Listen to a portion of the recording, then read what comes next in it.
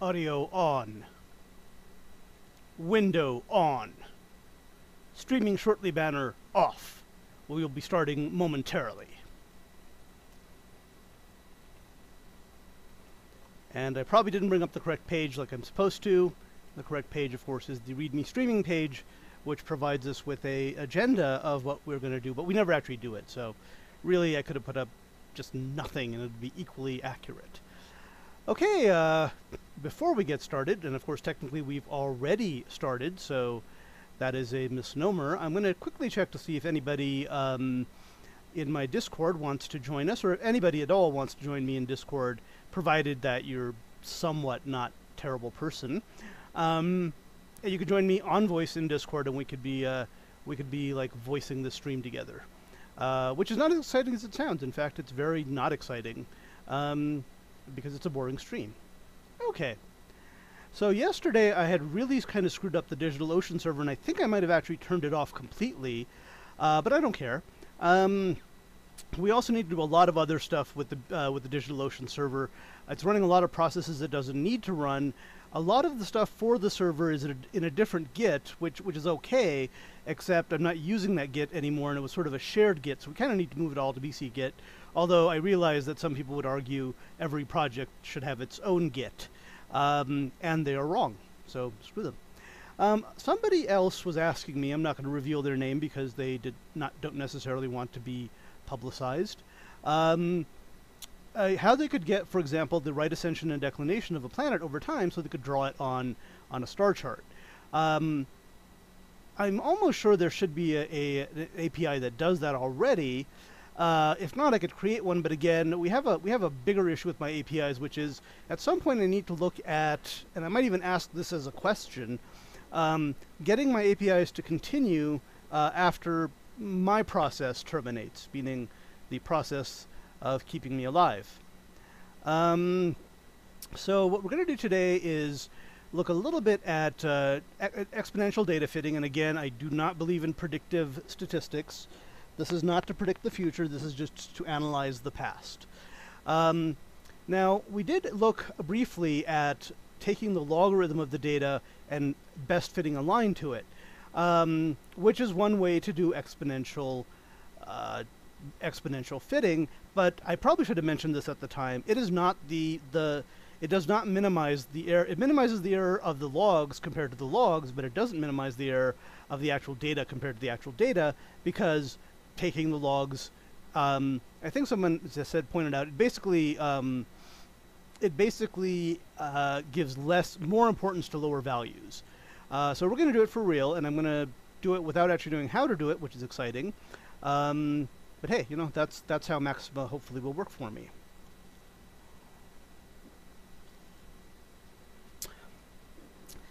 Now, there's one other thing that's going to be a minor point that's, like all minor points, is going to end up taking more time than the actual project. And that, well, first we have to get our data, and that's, and I think I updated this yesterday, but every time I say that, I get some more data, so, oh, I got very little more data. But, you know, they make corrections and stuff around the clock, so we might as well pull it. Uh, na -na -na okay. Aha! See, there were some errata. And errata is like erotica, except it's wrong, whereas erotica is always right.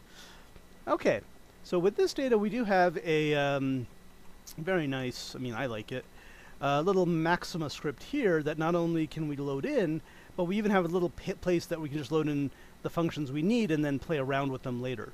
Uh, and we can also clean this up a little bit because um, we no longer need to uh, put in the debts manually, but there's actually a problem with this, and I'll, I'll show you what that is here in just a sec.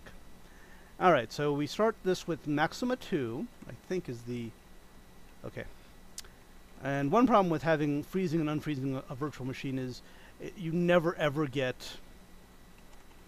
updates on every time you, every time you start a shell it will run this because I have that in my T shell rec but because I never start a new shell here that never happens so we want Maxima 2 La la la la la la la la la la la la shanana.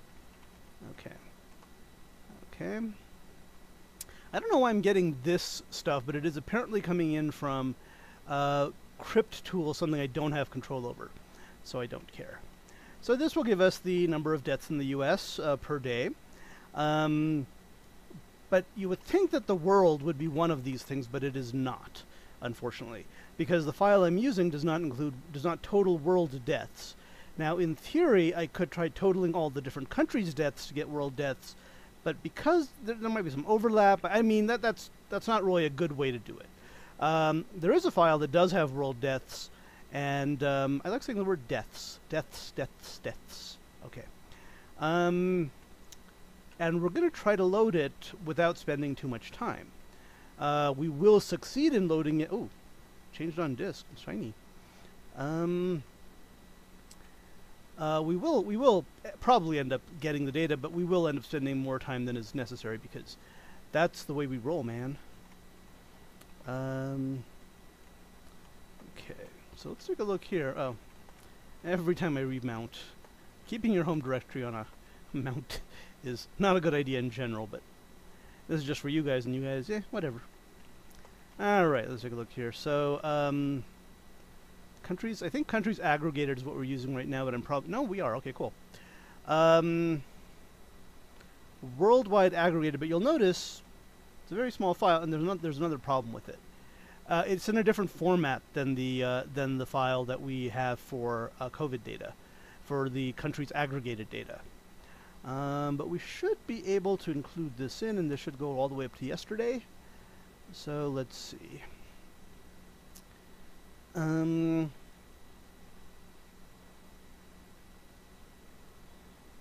okay. All right. Um, so what we're going to do here is we're going to do basically the same thing. Um, we can even reuse fname because we, we, we closed it up above there.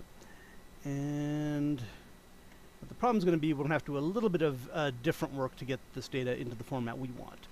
Worldwide aggregated, and we'll call this map 2 because we, we do use map below, and we do need to um, we do need to keep that preserved for, for the functions down here that use them. So let's do this and see what map 2 ends up being. Uh, probably, yeah, oh, shiny. Um, that's actually not as bad as I thought it would be. Okay. Alright, so how do we get the data we want out of this? Um, gotta be a little bit careful here. Okay. So this makes the death array empty for each country, but I think for this one we could just do, uh, let's see. What are we doing? I, I don't know. Um, yeah, it appears we're going to use list a string of... Alright, so I think what we can do here is make list mat2 no make list. Oh this is actually where we assign it down here. Uh, and this is ugly but I think we can do okay well let's let's take a look real, real quick here. Alright uh, so this is uh, mat2 I think each row is, oh cool, yeah, it's the, the header row. Um, so we could do a, we could do a make list of this and just take the, um, which element am I looking for? The last, next last element? You can't do minus one like Mathematica lets you do, so you kind of have to cheat a little bit. So the first element is the whole date, two, three, four. So let's see what this does. Yeah. So we just need the fourth element of each element, and that is our list. I think we can do that without having to be make list mat i of 4, where i goes from 1 to length mat 2. I don't think this is going to work. Well, actually it might. Yep. Um... So this is for some reason trying to evaluate i before we go through the little loop variable here. Uh, okay, let's take a look at what we've already done this, so let's take a look at that. Um,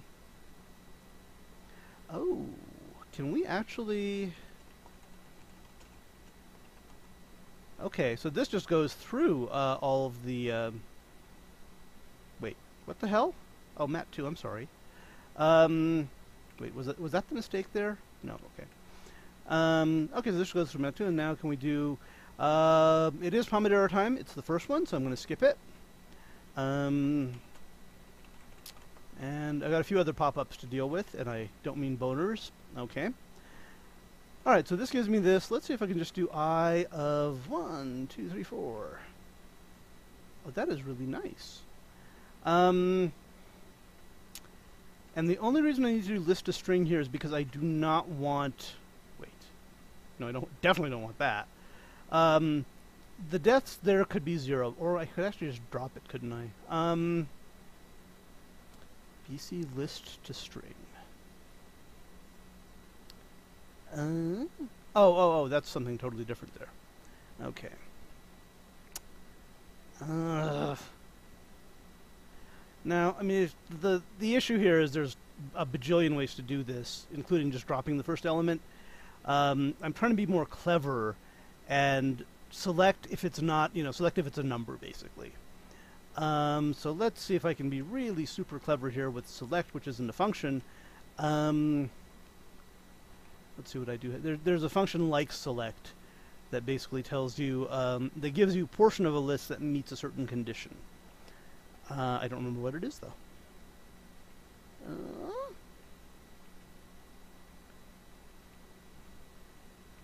by the way, transpose mat, I, uh, on any normal system, transpose mat to, um, and then taking the second element of that would give me what I want. But for some reason, transpose doesn't do what it does, at least for me most of the time. All right, plot. Oh, oh, oh, oh, oh, okay. There is actually a page that does a Mathematica to Maxima conversions. Uh, maybe I'll find it and, and bookmark it.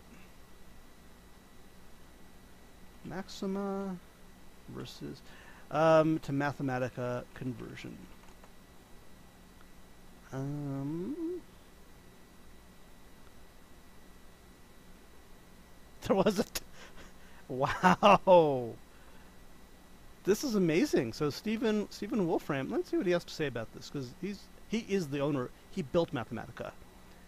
Um, the day Mathematica was launched. Happy Mathematica Day. Um, and I guess this was written. Oh, on, okay. So this it's actually now older than that. It's 32 years old. It's old enough to date, and I'm going to ask it out. Um. Oh. Oh, isn't that gorgeous? Macs and Unix. Back in the day. Um,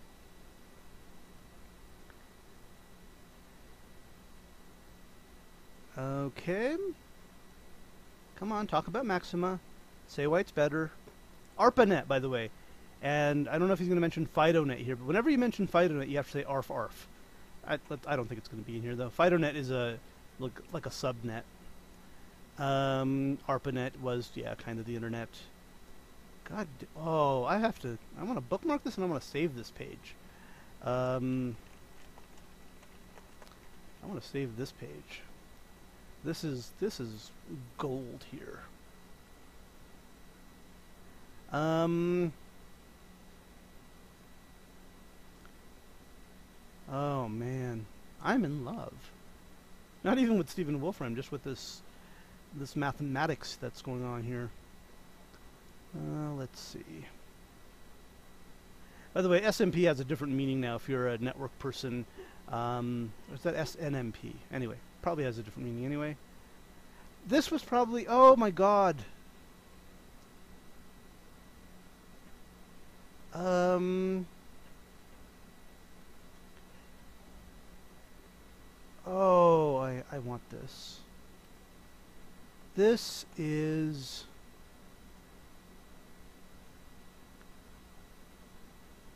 wow. This I remember ads like this. I don't know if I saw this particular one, but this is back in the day when people actually used. God damn it. Um. This is back in the day when people actually read paper magazines because we didn't really have the internet. I mean, we did, but we didn't. Um, yeah, yeah, I remember. I remember ads in like astronomy magazines and stuff that looked just like that, and you could even like circle which things you were interested in. So you just send in one piece of sheet, and they give you you get back stuff in the mail in the in what the, in the actual postal mail. Um, damn. He was like effing good looking back then, and he's really old now. He's actually probably streaming at this exact instant. Um, um, what kind of ice cream? Oh, that kind. Okay. Um, it's gorgeous. It is so beautiful. The rocker. Oh, the Ackermann function. Yeah, I know what that is. This is, by the way, how people used to print things in the olden days. We had this like uh, fanfold printer paper, and we had this very kind of generic font that is, I think, um, is it? It's monospaced, I think, but this is this is this is very nostalgic for me because uh, I do remember these days. Um, and I do have a copy of the Mathematica book, but anyone can get that. But I have a fairly old one. Okay, now what the hell? Okay. Okay. yeah, this is back before we ran out of IP addresses. We didn't even have, we didn't even need IP addresses back then. We just had everything just got their own. Um, uh, let's see. Uh, okay. Okay, this is where we break with Stephen Wolfram. I was 20 years old. I had just gotten my PhD in physics. I was spending a few weeks at CERN, which is the very impressive uh, laboratory in Switzerland. Oh, okay. Now you're kind of smacking around Maxima little bit there. Um,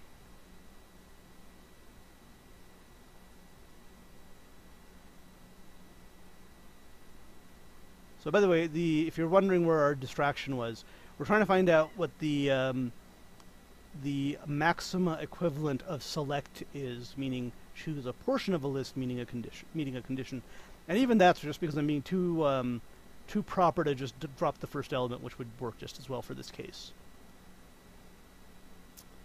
Okay, God, that was beautiful. Okay, I thought I already actually had one, so let me see if I can find a bookmark uh, which I cannot. Um, convert Mathematica to Maxima. Someone actually had a page that does a whole bunch of these things. Uh, and it was a Git page, so what did I type in? Oh, covert. Yeah. That's nice. nothing secret about it. Um, okay. Someone actually did a Git on this. It's a very minimal kind of... Oh, here we are. Um, yeah, here it is. Rosetta was the keyword here. I think...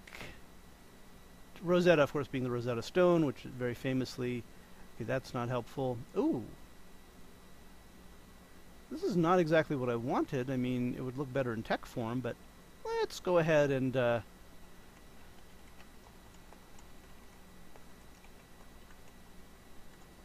let's go ahead and save this before I forget about it. Um, okay, Th I think maybe they have this in a. Um, okay, maybe we can go one level higher. Um, a free open source, blah blah blah. Okay, so what the hell? Why am I not using it? Because it probably because it sucks. Um, or they've given up on it. Which would mean it also sucks for a different reason. Let's see if we can find it. But this is not what I'm looking for. I'm actually looking for the Rosetta code that converts. God, I'm lazy. Um, and that is a much better search, actually. This guy's ugly. Rosetta Maxima Mathematica. I think that should be enough. Yes, here we are. Oh shit, it's a PDF. I want to see it. Nope. I hate I hate um, I hate PDFs enough that I will actually actively avoid them. Yo, mama.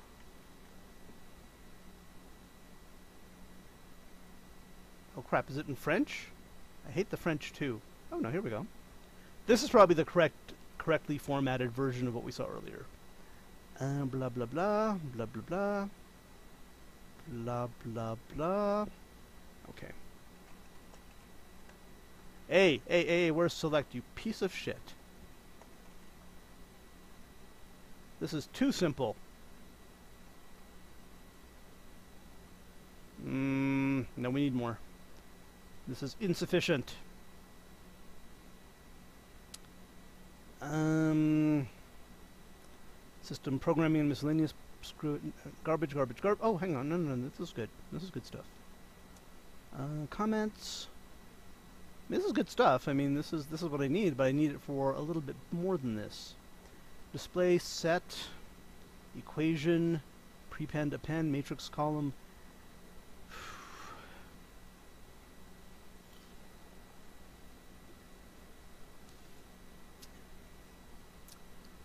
This is probably the weirdest. I guess Max. Yeah.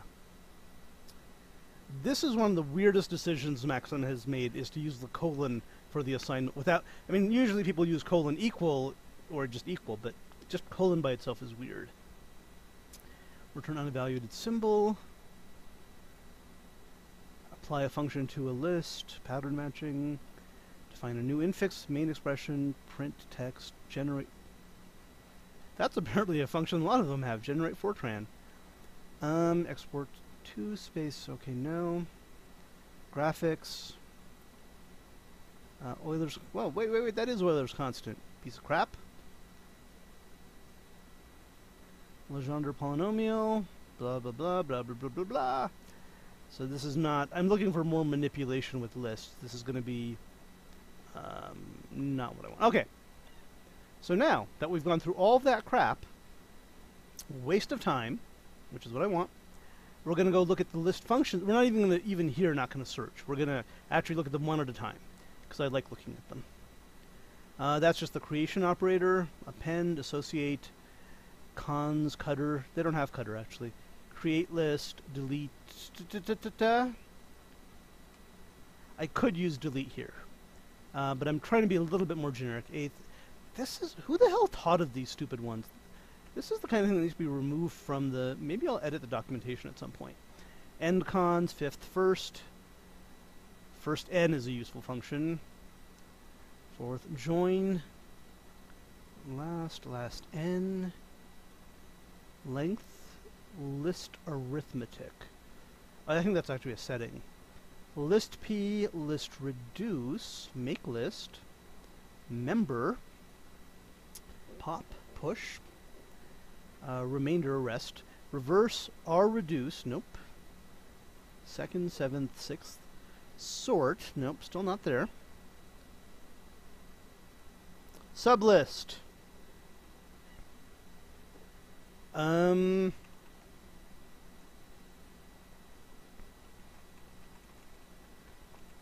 And now how do I, I guess this is going to be a lambda function. Um. I, doubt, I doubt this is going to work. Yeah. Oh. One argument. If this works, I'll be fucking surprised. That was kind of awesome. Um, alright. Alright, so we've read in Mat 2, and I think what we want here is... Yeah, I think this is just directly from Matrix 2. By the way, functional programmers love to do crap like this, where we find a way of combining functions to do what we want, and then we just put it in there like we didn't go through all that work. It's like, we, we just thought of it this way. We didn't. We went through it one step at a time until we found the correct function. Um, so now I should be able to do death's O world. That's the equal sign here. And now I should be able to do this. And now I should watch it fail.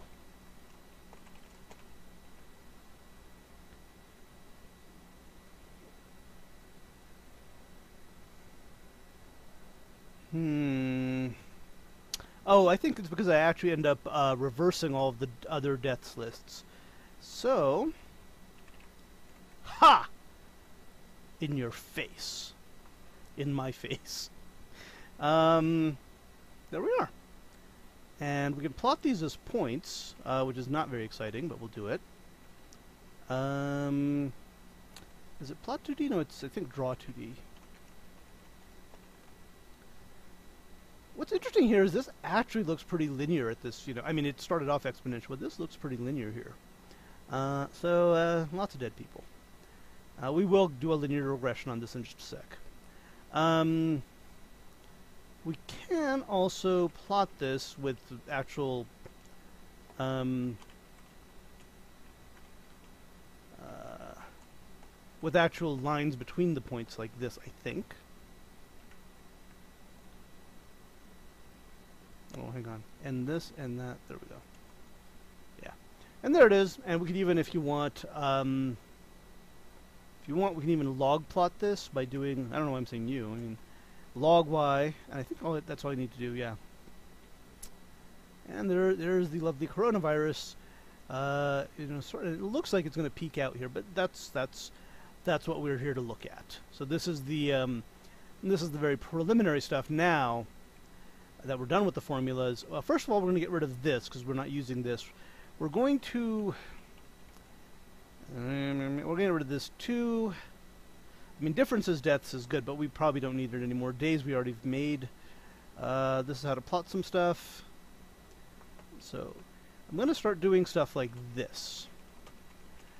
Uh, so basically, it's just it doesn't really make things any clearer, but at least shows where I'm doing the new work. Okay, um, so the first thing we want to do here is um, let's linear plot this data. Let's find the best fit linear function uh, to this data. And that should not be too difficult. If we use, here it is, L square estimates. Uh, least square, that's least squares by the way. Um, and we will follow the procedure of using really stupid variable names because I don't know which ones I want to use yet. Um, oh, hang on. Okay. So L squares estimates of yeah, hang on one second here. I think to use L squares estimates, uh, you need to use a um,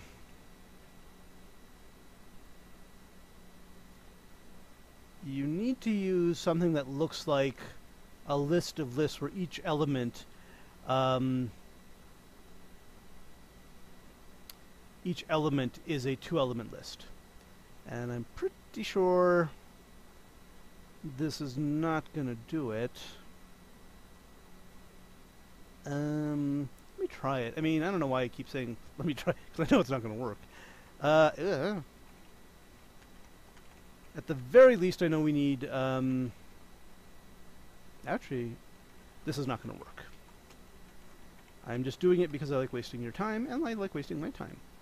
The variables will be, I can't say D and D for both, so let's say X and Y, and we'll say Y equals A times X plus B, and the variables we want out of this are B. Uh, so this will fail. Let's watch it fail. Well, let, let me do my fail. Let me do my fail. Um, wrong number of indices found. Yeah because uh, days.deaths doesn't look like what I need it to look like. It, it's sort of the, I don't even think the transpose of this is going to be correct. Oh, that's a bigger problem. Of course I meant to say deaths of world. It's Still not going to work. But, um. And let me do this, and I'll show you why it's still not going to work, because this is this. Now, if I transposed it in theory, I should get what I want, but it, for some reason, transpose has a different meaning here. Um, yeah, that's not what I would call the transpose of that. Okay, but we can very easily create a, uh, a list we need, which we will call T1219, because that happens to be the time right now. Make list um, days of I Death's World of I. And I will go from 1 to the length of, I guess, it doesn't really matter as long as it's consistent. And I think that is the list I will be able to use. Yep, that's what I need. Pomodoro time, this time I will take it back in 2 and 2.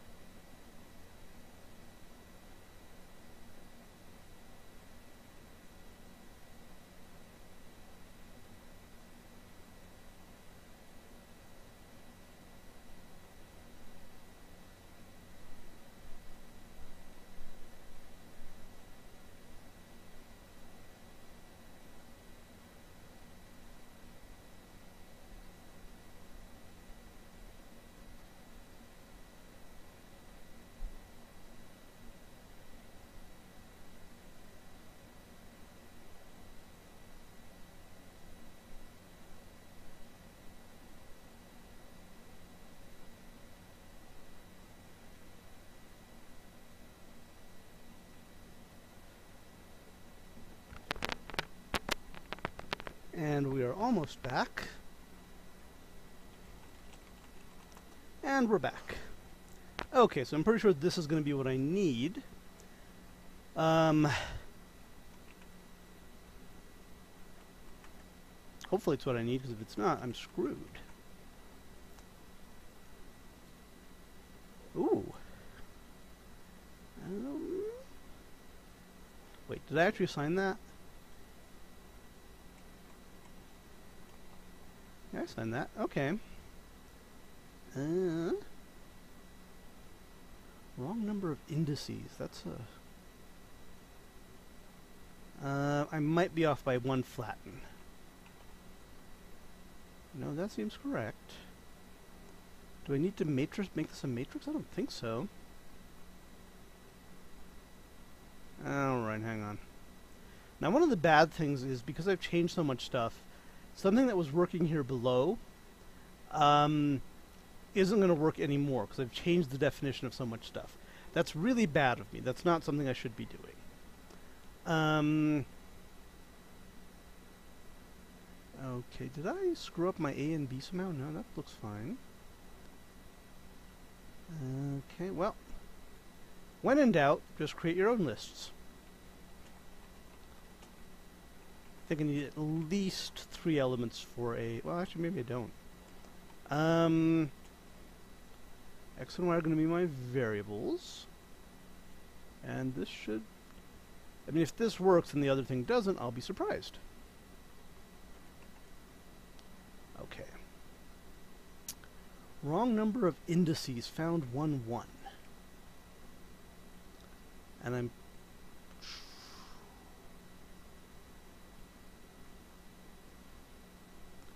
I mean, I can't possibly take this out of this. Uh, Alright, let me... If this works, I'll be very surprised. Because that's just really, literally doing nothing. Um... Yep. Matrix just literally just makes it a matrix without changing it in any way just like uh, coercing, not coercing, yeah, it is coercing, um, yep.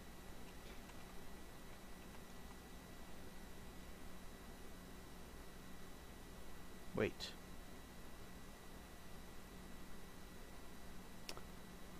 Okay. Wait a minute. Okay, this might actually not work either. I think this might be the wrong, the wrong kind of matrix, but let's find out.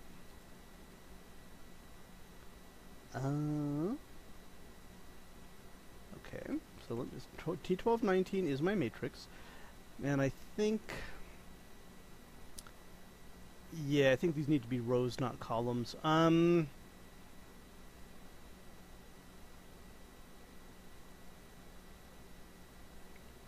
So ironically,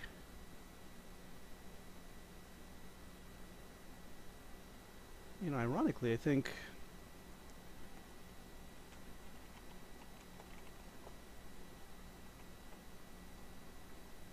this as a matrix is what I need.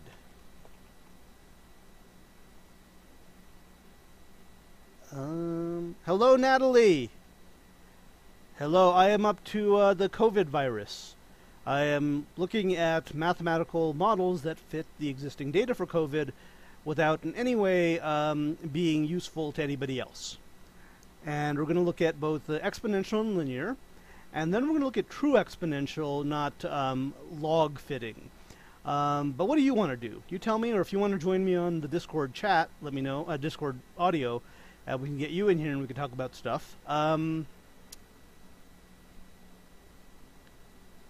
okay. So. Okay, now, I, now I'm certainly hoping those are two separate activities that you need to do. I mean, P clean and write a job app. Now, okay, I'm certainly hoping that you're not going to try cleaning stuff with P, even though urine. I don't think urine is sterile. It, may, it might be actually. Uh, but despite that, you usually don't want to use P to clean stuff with. Although, for all I know, P will kill the COVID virus. Except, of course, viruses can't die because they're not living things. But who knows? Maybe maybe we'll find out that your P is the uh, your P is the key. Okay, it's not urine is not sterile, so that is coming from our biologist. That is probably a myth. Let us go ahead and fix that myth by spending a little bit more time showing that it is not it is not true. That's like the first thing that comes up too. Uh, oh. Well, the very very first thing that says here is it is sterile. Uh, well, according to this, it is. According to the Guardian, which is a, a notable uh, Oh. Okay. This is the um, this is the NIH. We can we can I mean I don't know why we trust our government, but um, in the adult female bladder. So like this is specific to you. Um, so maybe this is something you could in theory do this, right? You could in theory because uh, I know you scrape DNA from things, but you, in theory you could scrape and enhance DNA from your own pee, and then we could see what kind of organisms live in your pee. And according to this, apparently, um, there are germs in in in pee. There are, although the fact that um, this is kind of bad that the very first, the Guardian is an important paper. Um, Um. Okay. Urea. Ooh. Okay, yeah, I've, I haven't heard that actually. Um, but we already know what you eat.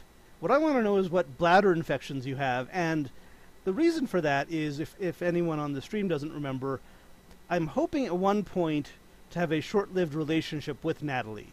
It's still quite a ways off because she has a boyfriend currently, and there's at least one other person in the queue after me, and there might be two other people in the queue after me. Uh, plus, I'm pretty old, so I might be dead by then. Um, but if we do end up having a relationship, um, I think Isooptolator was in it at one point. Um, uh, Milkister Moo is definitely the very heavy contender there for first, after the current boyfriend, whose name is T-Torp. I don't. Is T-Torp really your boyfriend, or were you just saying that to be funny? Because T-Torp is actually also a streamer, and he's actually your mod, and he's actually might even be here for all I know. He's been on the, my stream before. So quite quite quite a uh, quite a long you know. And I'm not saying you have to get your bladder disinfected, whatever the hell that means. I'm just kind of curious um, as to what what and they call it flora even because at one point bacteria were considered flower uh, were considered plant life but they're not anymore they're they have their own kingdom now the kingdom of bacteria uh, so just be kind of cool to know you know get get to know the bacteria in your urine that could be like a that could be like a, a talk that you could give getting to know the bacteria in your urine. And then, just as a, as a visual aid, you could bring like a sample of piss and just put it on the counter and say, This is my piss. Now let's see what's in it. Um, boy, that degenerated quickly. Whoa, what's wrong? What's wrong? You're the one who brought it up. I mean, you could have just said, I need to clean, or I need, I have other things to do. But you very specifically mentioned peeing and cleaning and writing a job application. Now, as a guy, I could write a job application in the snow uh, with pee. I don't know how you plan to write a job application with pee. I mean, you could just pee into a jar and then, you know, use a paintbrush and use your pee to write the job. I don't know if people want necessarily a pee written job application. I don't. Um, I don't know if that. I mean, it, it could be if it's actually like a. Uh, it, it's like um, you know maybe if you're applying to a, a laboratory or something, they might you know you might just say, well, if you need a pee sample, this application is written in P. So you know right there you got your drug test out of the way right there, because I'm that confident that I can write this application in P. Um, so lots of discussion about P here. Uh, the urine, um, bladders, kidneys. Kidneys are, of course, what filter. They're part of the nephretic system, and that ha- that's a dumb name because it sounds like that's what your nephew would do. It's like your nephew doesn't show up and filter. I mean, unless you're, you're in a very strange family, your nephew probably doesn't come around filtering your urine. Um, and if you're in a slightly less strange family, your nephew probably does filter some other stuff, but that's disgusting, and we won't discuss it here. Okay. All right, if you have other comments or questions, Natalie, let me know. Otherwise, I will get back to um, whatever the hell I was doing before I started discussing P. Um, and if anyone else in chat wants to say anything, please go right ahead. Okay. So I think this is what I need. Let me see if I can cheat a little bit by using the percentage sign.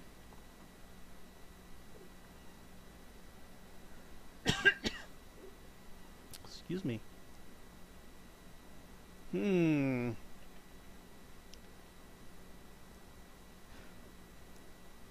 Okay, so now I need to figure out what the hell...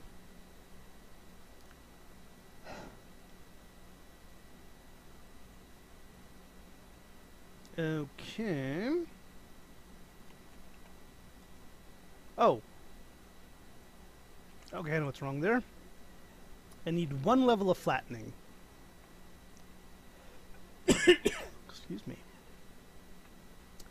Can I just do this with create a matrix like this? I shouldn't be able... Okay. Um... COVID. COVID, which sounds like, again, it's not as good as CoEdVid 19, which is a bunch of 19-year-old co-eds. Okay, so this is... I'm pretty sure this is still wrong. Alright, so let's do this, and let's... It's not going to work. This is...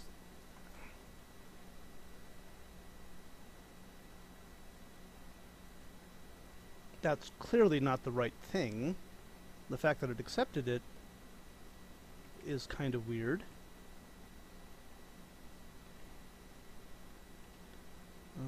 Okay. This might be one of the cases where transpose does what I need it to do. Oh. That looks pretty damn solid. There we go. So this, and then... I don't want to give away the secret, but... Yeah. Okay. So it is going to be...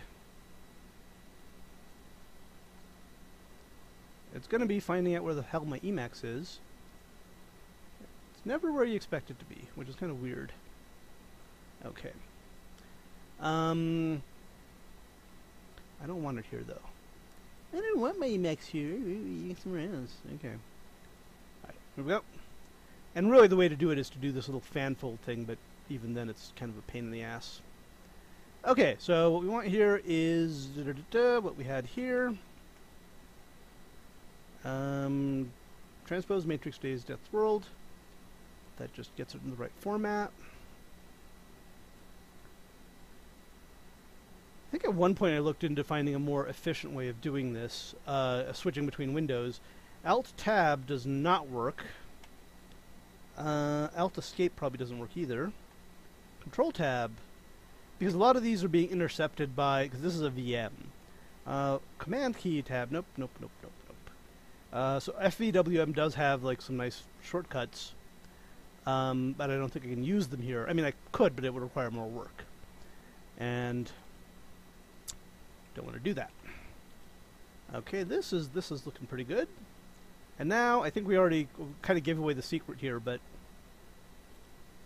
okay. And this isn't actually super useful, so I'm going to go ahead and convert it to floating point. Um, so according to this, we start with negative 36,000 deaths, and we're adding about 1454 deaths per day. There's a reason for this, and we will um, let's see. We now need to convert this into the function which we wanted here. Um, and then when we, we'll see the problem is that the linear growth has changed a lot. And we, we can fix that. Um, but okay, let's go ahead and convert this into a function, in other words, and I think that's just subst. Um, gotta be a little bit careful. Let's go ahead and call this T1236 because I want to use it as a substitutional uh, into a times x plus b. And I think that's still going to be a problem but let's let's figure that out real quick. Okay. But I think T1237 is not a function. It's actually something else. So if I do 8 it's not going to give me what I want yeah it's not a function there's a way to fix that. Uh, and I did it earlier, so it shouldn't be too tough. Oh yeah, I can just do this. Um, and here, because it's a function, I can do set equal. And we can, we can um, I was going to say normalize. We can actually generalize this a little bit in, in, a, in a little bit.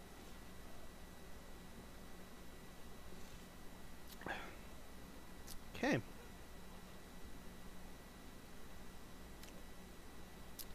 Okay, now T1237 of 8 should give me a number. And now let's go ahead and create a list out of this. Um, uh, T1237 evaluated at i, where i goes from 1 to the length of days, because that's the... Uh, so this will give us the pointwise estimates um, I'm really tempted to convert to float here. We don't have to, though. And then, if I'm doing this correctly, discrete, and inside of here I can put um, days. I should be able to put two different lists.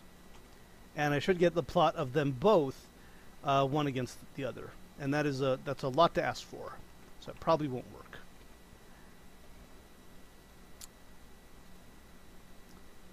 Okay, days. No. Yep, yep, yep, yep, yep. Can't do that. Um. Unless. That, if this works, I'll be surprised and kind of annoyed, actually. Yeah, okay, good. Um. Alright. So, there should be a way to do this. Um. Ooh, unless. Oh, hang on. We might just create two separate plots and combine them. I don't know if that's going to work. But first, let's take a look at the real data, which we've already looked at, so it's not very exciting. Whoa! Okay, end deaths. It's not a list anymore. And that there. Damn it.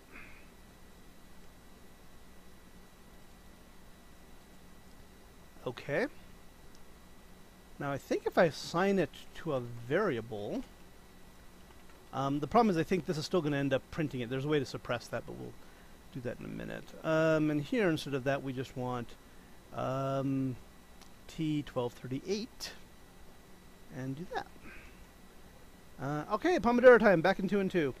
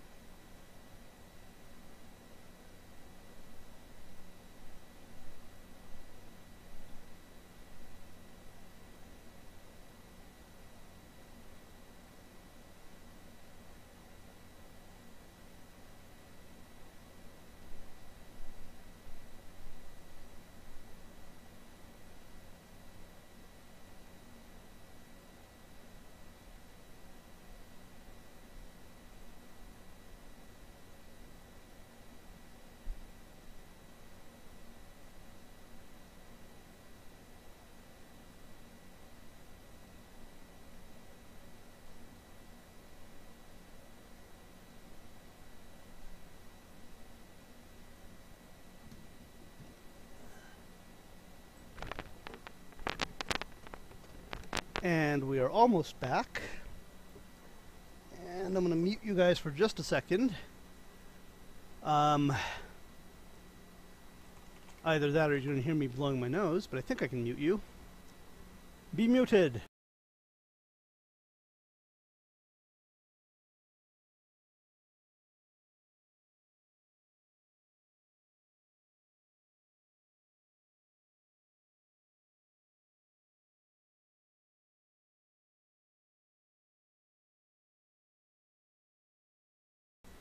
Let there be sound.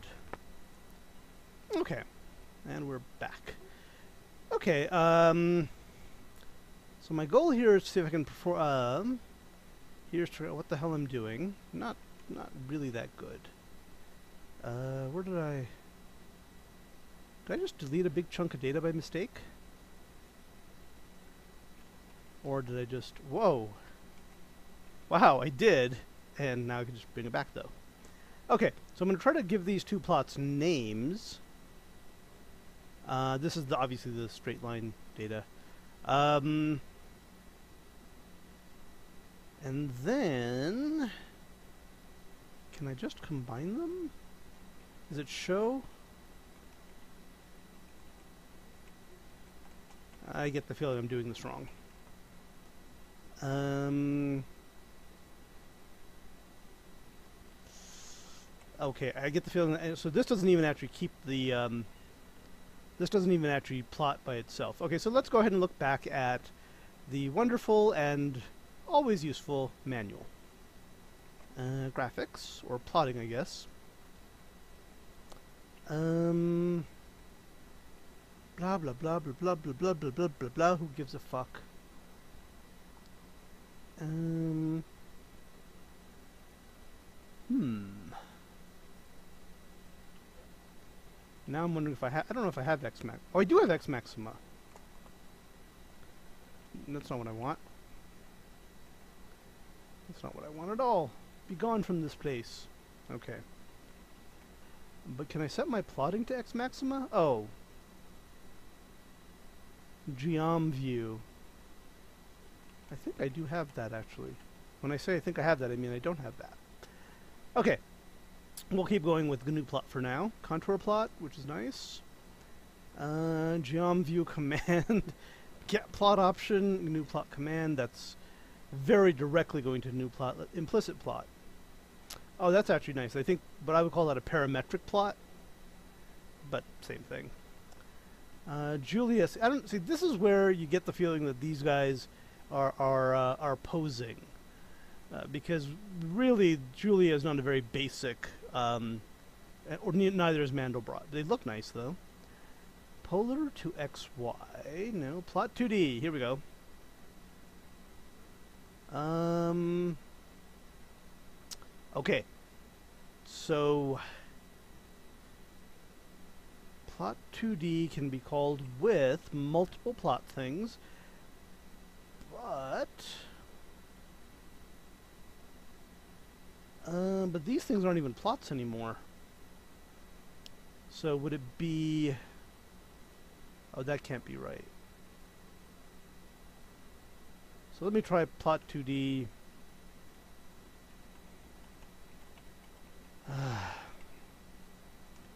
this is going to not work. Nil cannot be used as a local variable. What, what is T1239? Okay. Okay. It's the same thing. Okay, so something is wrong here. I can't... Um, if I try to assign something to a plot, what happens? It, it gets plotted. Um, but I get the feeling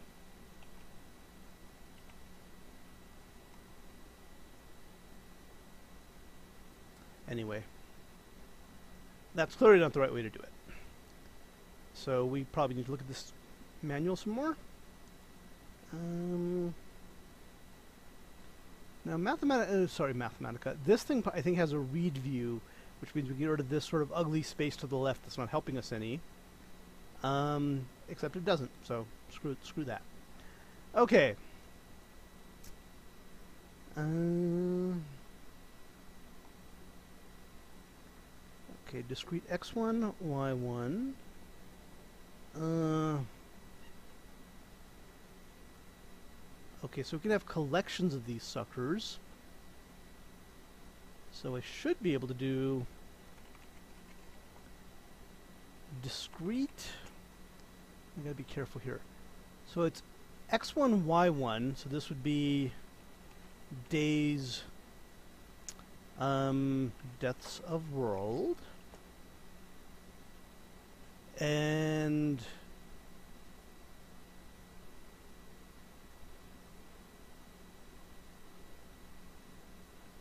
Okay, that should work, but it's not what I want.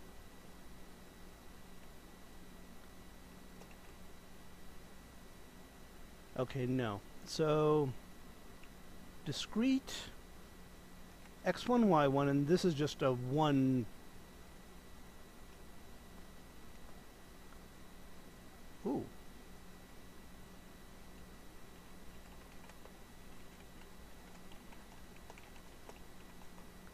Lying piece of shit. Yes, they do. okay. So it's going to be discrete double thingy. X1, Y1. Alright. Um, comma X2, Y2. Oh shit, did I forget the most important thing at the very end, which is, um, no x1, y1.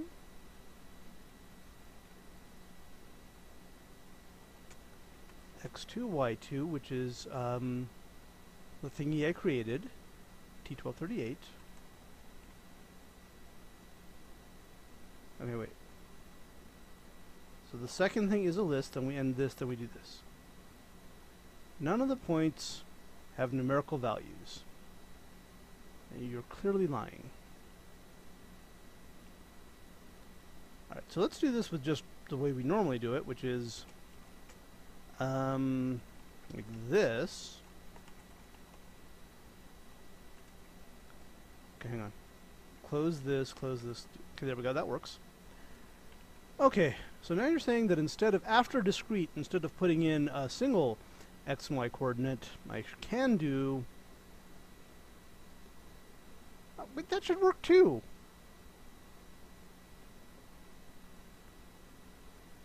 Hmm. So I can do multiple x's and then multiple y's. That's... Oh, these might be points, not, not actual lists. Right, so this is actually a single list that's being plotted. So my bad. Uh, we need a list of lists. One or more expressions, okay. Uh, can be displayed in the parametric form. Range, there are several plots to be plotted. Um, okay, let's see if we can get an example of a plot of multiple things at the same time. That's nice, but it's not... Okay. Aha! Here we go. Um... 2D. Okay, so that's got to be...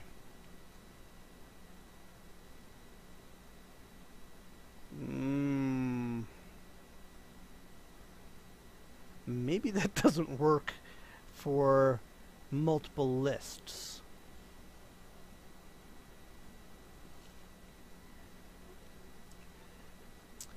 Oh, unless each list is itself. Okay, hang on. So that's one plot. The second plot could be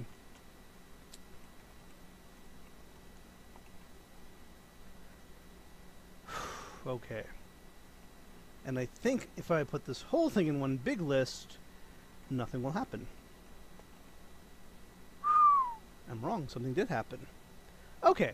So now we could... Let me freaking put that down before I forget it. That's the... That is the bomb. Nope, not that.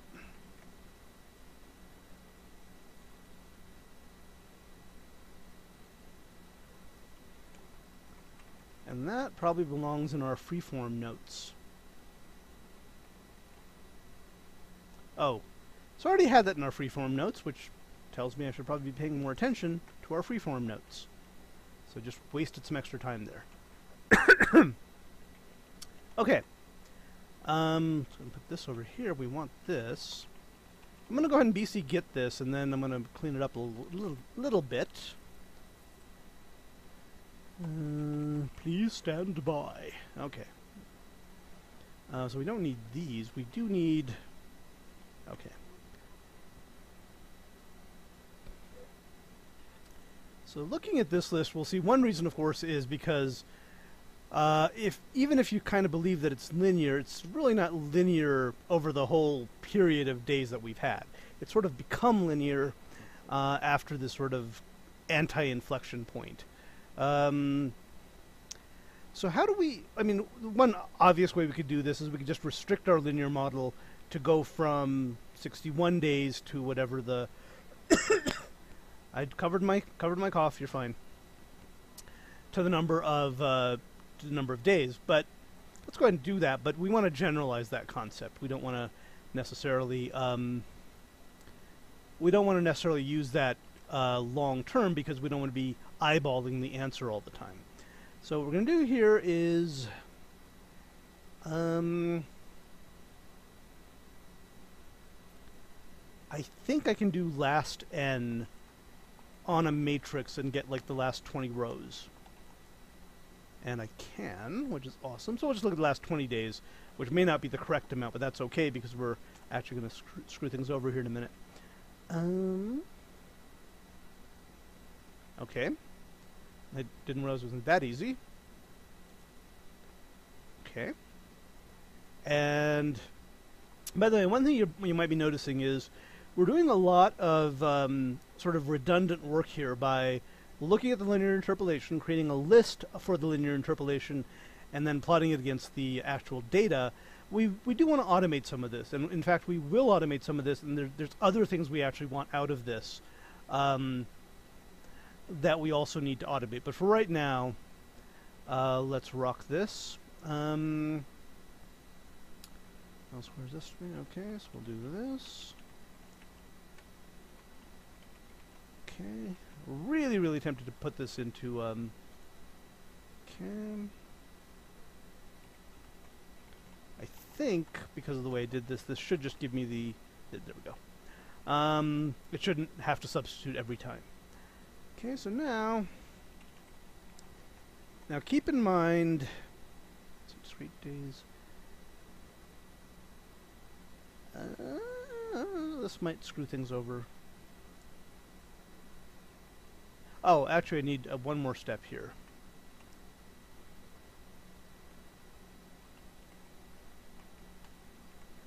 I need a list of T1254i this is the estimates that it would give. Now the estimates are going to be really, really bad for the early days, but that's okay. We kind of expect that. Um, so let's look at that in floating point. Yeah, and because we're going to have a much steeper curve, uh, and it's going to be more accurate later on, uh, we're going to ignore the. It's going to be really bad estimates early on. And now we should be able to do. So let's move this down here a little bit. Uh, and this should be a much better estimate for the, the period of time we're looking at. I think I screwed something up. T1254. Oh. Yeah. Wrong list. Wrong formula. Which is one reason we, we kind of want to normalize this. Generalize this. Okay. Kind of sucky here, but we can get around that by... One way to get around it is by doing this. And we can see here that this is actually not a bad estimate starting, as we, we said, in the last 20 days. Yeah, this is not a, a hugely bad estimate uh, for the last 20 days. And T1255, T1254 of X. I want to I want to see what, what this actually is saying. Um, so this is saying about 6,679 deaths per day, but it's only estimates for the last last few days. Um, before we go to the other kind of estimate, we, before we go to the uh, more generalized version of this, where we can get um, estimates for any given period of time, and then try to find where the best fit linear estimate is uh, for how many days back can we go and still have a really good linear estimate by using uh, least squares differencing um, among multiple least squareds. Um, but first, the other way to look at this data is to look at it as being um, as being exponential. So over here, we will do the exponential stuff. I don't think this is going to work, actually. But, hey. I don't care. So here we're going to say that um, y is going to be exponential of a times x plus b. And this is going to break, but only because of the overflow errors. Yeah. Yeah, because uh, I mean, even though let's see, I mean, even though really this should not be hideous, I mean, it, it is what it is. Um, it really didn't like. I, why doesn't it like that though? Yeah. Um. yeah, this is... I'm actually kind of curious. I haven't thought about it, but can we fit the last, let, let's say, 20 days worth of data, even if we can't fit all the data? No. Is it just because we're choosing initial values of A that are too, too big? Um... I mean, the initial values it's choosing for f and g, which I don't know what they are, uh, is very huge.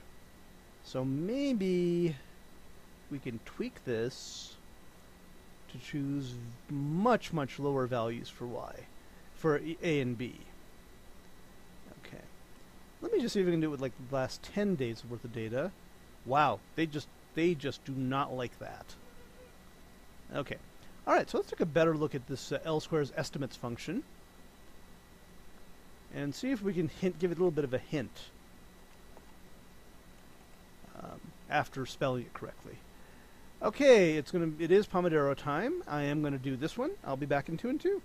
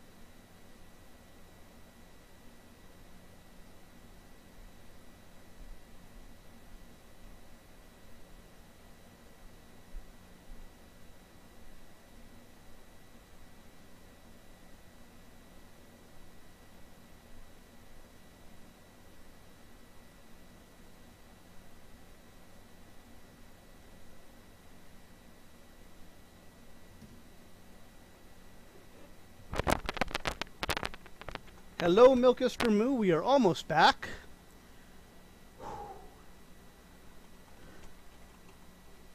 Okay.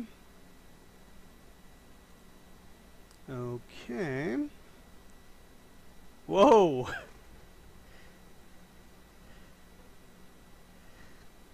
okay. This is freaking amazing. Um, sorry, Milkister Moo, I just got distracted by an email. Thank you for saying the word Pomodoro. I just got an email from NASA asking me to review the performance of two of their employees. Um, just that is just effing bizarre. But I will definitely give them very positive reviews because uh, they have been super helpful. Okay. Uh, yeah, from NASA. But it turns out it's not as exciting as it sounds. Let me read out part of it. Uh, Barry, it's that time of year at JPL when we conduct the annual salary review.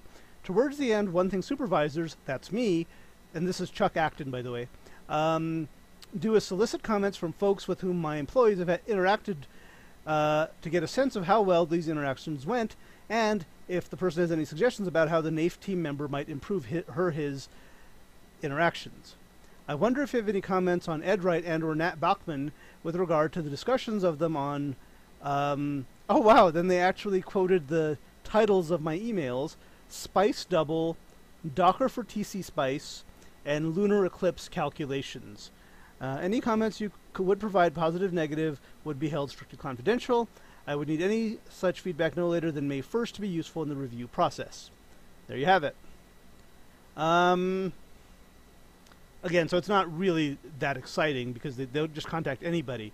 But again, Nat Bachman, I'm going to say it on record, is very, very helpful. Um, insanely helpful.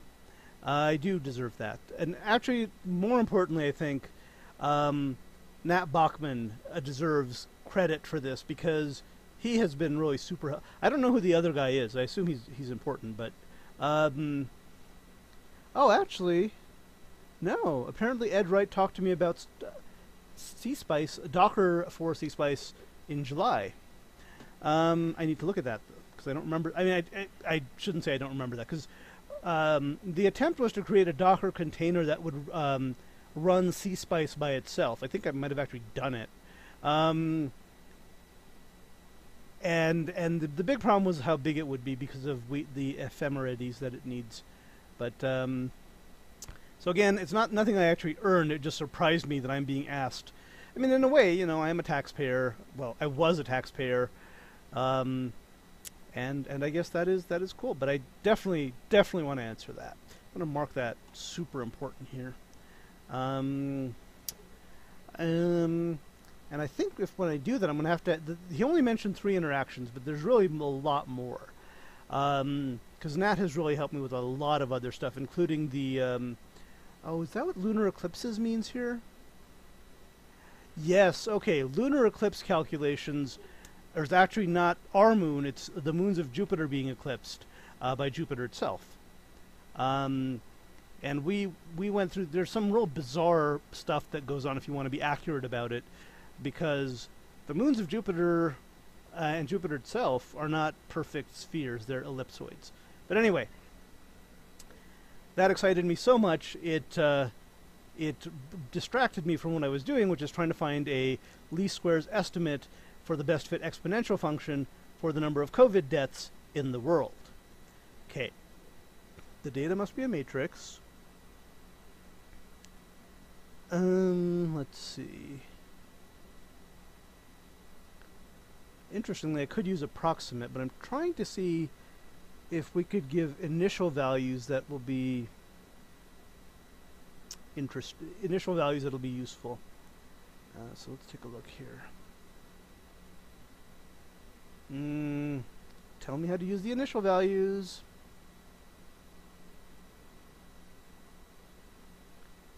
Um, okay, come on. This is this isn't documented. Initial equals well, let me try a couple things here. First, I'm going to try L squares estimates approximate, which probably won't work either.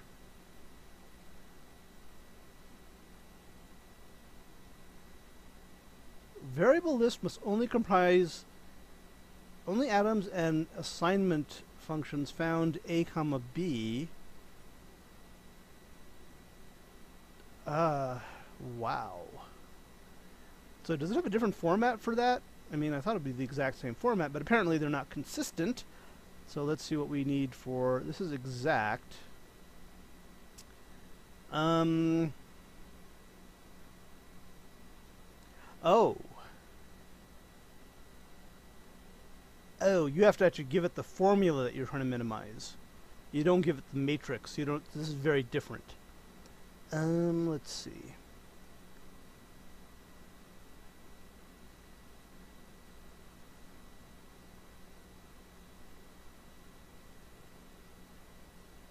Oh wait, what is this?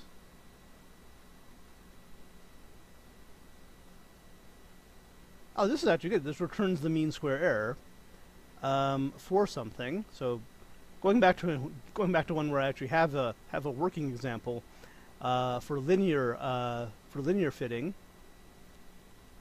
Back well, I don't even need to do that again, do I? So that that's now. Let's see if I can get this is actually really useful. L squares MSE um, with the same data uh, let's see. Almost the same day. Oh, hang on, hang on, hang on. They want dx and e. Yep, this is what's defined as, all right. The mean square estimate error, mean square error. I was going to say average, but okay. For the equation e in the variables x Oh. So I cannot, so this I have to feed it natural function.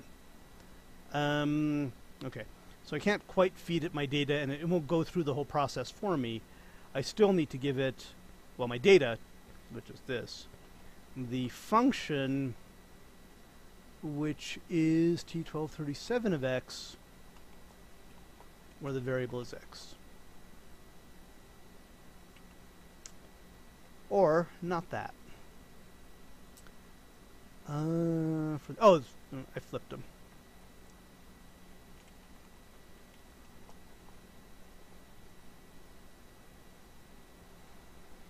Hmm.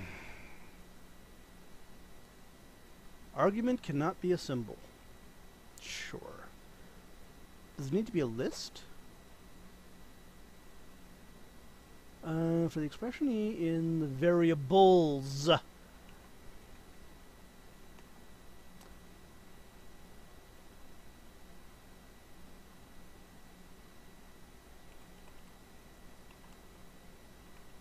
Okay, that doesn't work. That's interesting, though. So what do you expect for T1219? uh, with data D.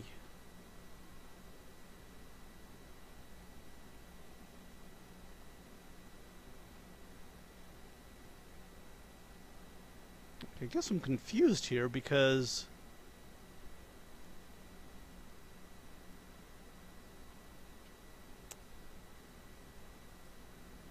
my original data, I want the mean. This, now T1219 is defined. That should not be a problem. Alrighty. Let's look at something. Oh, do I need to, um, do I need to load something? No, I mean, it clearly understands the function, it's just not using it. Okay. So M is a matrix. L squares M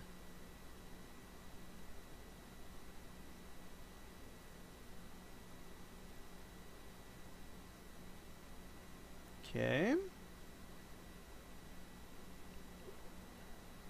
Got my matrix, got my variables. Oh, oh, oh, oh, oh, oh. Do I need to put y here as a variable? Uh, yeah, for some reason it's not reading T1219 as a as a matrix at all. Uh, Okay, well. How about that? Yeah, it does not like... I mean, T1219 is definitely a matrix. Yeah. Um, matrix, variables, and something that's an equality operator.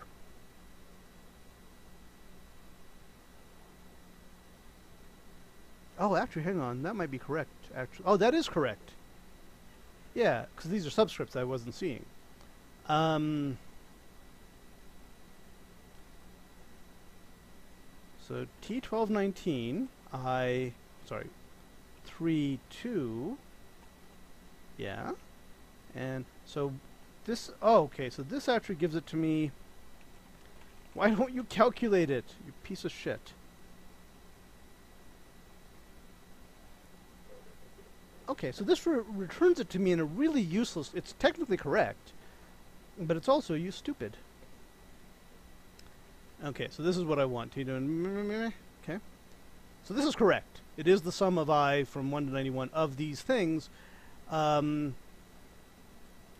but fairly pointless because this is we need to actually instantiate those variables. Hello, high altitude. Sure. Chernenkov. Are you somebody I know from a different identity? That's true. It is pure. It is pure. It is, you know, you're right, actually. I have strayed from my pure math roots by saying that this is not pure. This is the purest form of this equation. Um, it would be nice, though, to put in numbers so I could get a value for this, because some of those pesky uh, applied mathematicians would want to actually know what the MSE is as opposed to the formula for the MSE. But yes, you are correct. This is the pure this is the purest way of doing this. Let me find a slightly less pure way of doing this though that is might be more useful to some people. I know, I know, I know. Real math, you don't use numbers, you just use letters and symbols. And if you're really good, you can just use symbols that are letters. Uh, just, you know, all of math is symbolic. Uh, but again, no, the float function didn't do it, actually. Uh, what the float function did, so this is what it looks like at first, before the float. If you put in the float function, it converts, it converts, it doesn't actually do the sum, is the issue. Uh, it converts all the things to floating point numbers that it can, um, and I'm wondering if the, like, if just the word sum would do it. Nope. I mean, oh, you know what would do this? Eval. I think eval would do this. No. Cool. There's gotta be, maybe it's ev. I'm just gonna randomly pick functions until something works. Nope. Um. All right. Well, let's see what let's see what how they do it here, or they don't, because it's the documentation is not that fantastic. Um. Nouns might be what I want. I mean, I like how, um, what is that number at the top? When did you float mean? Okay. Gonna have to explain that a little bit. So what this is, is the functional definition of, this is the expression that gives me when you did float, oh, so this is right here. This is the uh, this is what you do if you don't put float. So I'm going to put float in front of the whole. Actually, I can just do this. Excuse me. Oh. Holy crap. I didn't notice that. You are correct, sir. So why the hell does it return the whole sum to me again? Alright, hang on. Hang on. So this definitely does not returning a number that I can use. This is returning a number I can use, and for some reason it returns something else. So now, just to remain cognizant, Let's see what this actually assigns T1316 to. I guess, but what is, if I do an assignment, what's going to be assigned to? Okay, so now tell me what T1316 is.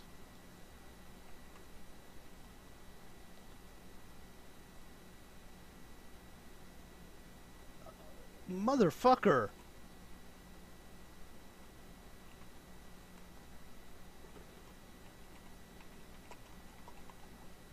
Okay, it's not a list.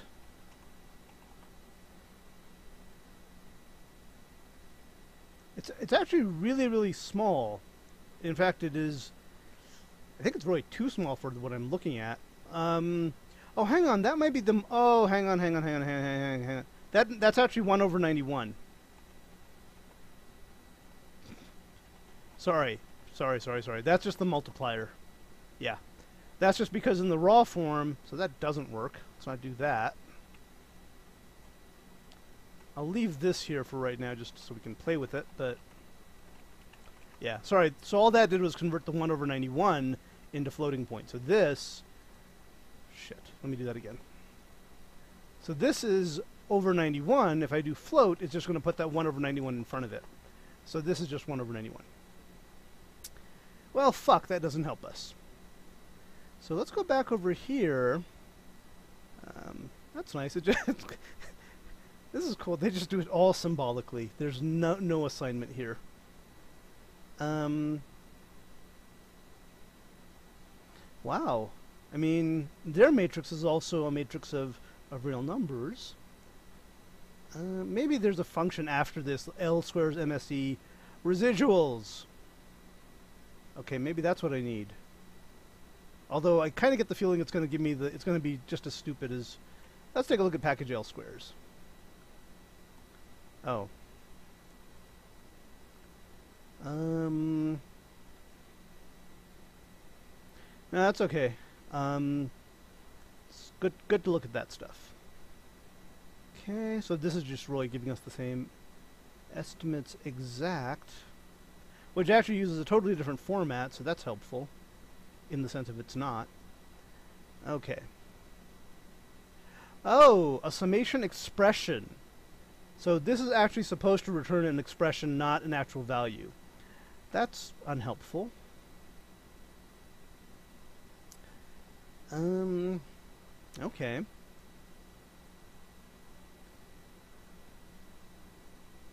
Um, okay. Do I do have L squares? Oh, I must have L squares loaded, otherwise this wouldn't be doing anything. So let's look at this one. This could be fun. And I get the feeling the parameters will not be the same because that would be too easy. So the parameters I need for this are the data, which I have, uh, the variable, um, x is list of, e is an expression of Okay. A is a list of equations which specify values for any free parameters in E aside from X. Really? Okay, I'm going to go ahead and skip Pomodoro this time because I actually have a real person in, in my chat. Um, and I appreciate that. So Nightbot, you will be you will be ignored. Okay. So getting back to what the hell I'm trying to do. Let's take a look at an example here, real quick. Uh, so you have matrix, the variables. Oh, okay. So this actually does the same thing. This actually does the approximation itself. Uh, like, you know, you, you almost get the feeling that somebody. Ooh. The value of A is not of type list. Mm, yeah. Okay. So maybe I could do this and then have like no variables. There we go. So the residuals look like this. And that is definitely something I want to make a note of.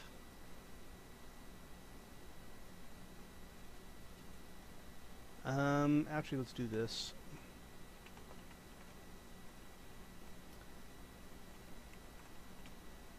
Okay, so this is the list of residuals with the with A and B filled in.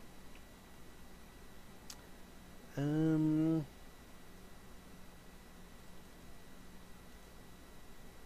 what? I literally just did that. Oh. I literally just did that. Oh, because I was doing a float earlier, that's why. Okay. So this... Okay, that's good. Now, I mean, in theory... Oh, man. I could sum these up. Yes, I am. Very good catch there if you didn't know it earlier. And I'm naming them after the time not in the time zone UTC, which is what I'm using here, but just to be confusing, I'm naming them after the time where I am, which is Mountain Daylight Time, which is UTC minus 6 hours. It is 122 and 24 seconds here in Albuquerque, New Mexico. Um, okay. So these are the residuals. Now, in theory, I could just add... Let's... Wait, wait, wait, wait. Wait, wait. Are these the residuals squared or the residuals themselves? Ah, mama. I mean, there's actually a really easy way to figure this out, but... Um... Oh. Oh, oh, these are the residuals directly. They're not even absolute valued. Um, okay, so these are just the re residuals with actual nothingness. So now, I mean, I could sum them, but I would get a sum that's very low because they'll cancel each other out. And I'm pretty sure that there is no... God damn it. That's not going to do what I want. Um, Mathematica has a total function. I don't think... Yeah, it doesn't have one. Um, I think you can do apply. And that'll actually do what I want, because it's like a map. But Nope. Um...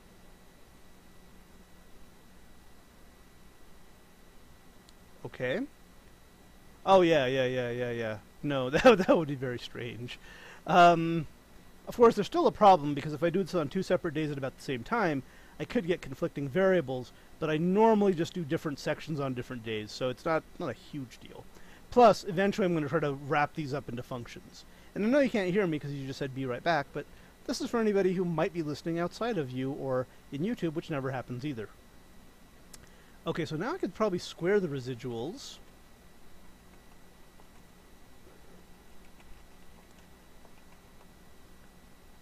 Shiny. Um, so these are residuals squared. And then I need to divide by n and take the square root, so that's going to be... Oh, no, no, no, I can't do that yet. I need to add these up together. Um...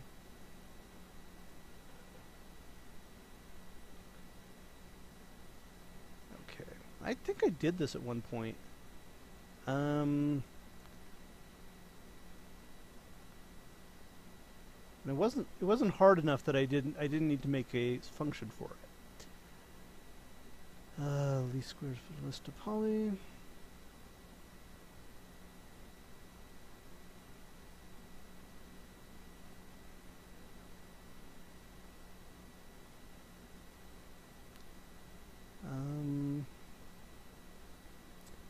Anytime I do this, there's also the possibility uh, that I could, in theory, just write my own function to do this.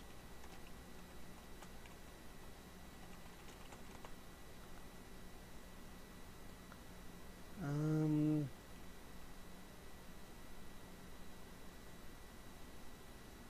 oh, that's PDF. We don't like PDF. Um...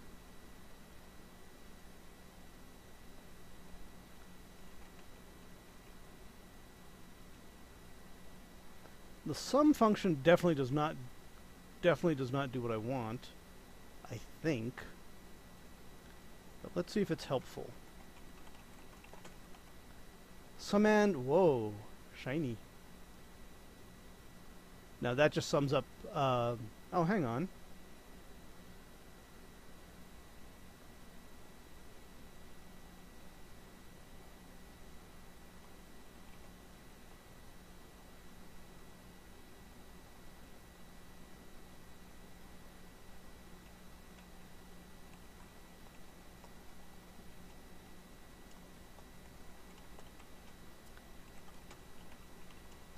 So that would be, I could simplify that obviously, but there's that. Okay.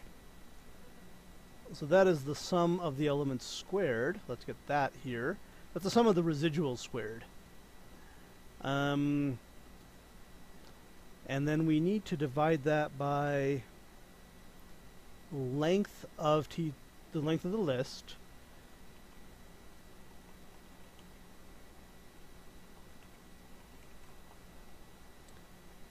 And then if I remember correctly, we really should take the square root. That is, this is the mean squared error. But let me see what the um, thing I don't want, which is this, uh, which is the mean. Okay, this is the mean square. So if I kind of if I want the actual, I mean, I could leave it like this. Um,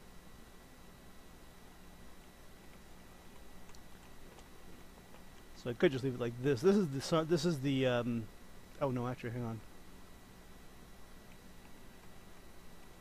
So we add up the sum of the squares, and then we divide by the length of the list, and we have this, which is this, which I don't, I don't know how helpful that is. Um, I think, I hope float, yeah, there we go. So this probably gives you a better idea of the mean error here is 29,809. Um,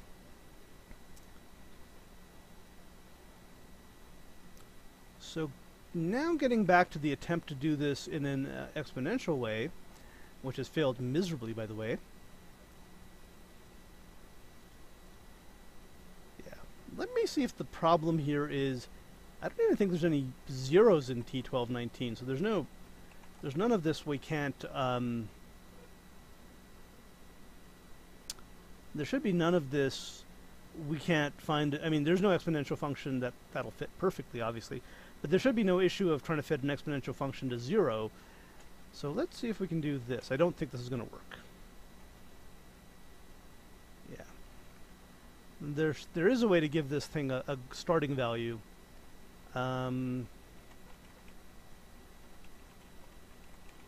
okay. Initial equals blah, but I don't I don't think they ever use it. That's literally the only place in the documentation. Oh, okay. So where does... I mean, you don't even use the word initial. I don't know if that's a hard word or that's just a... Um, oh. Well, well, well.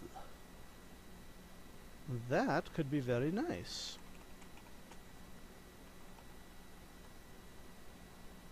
Okay.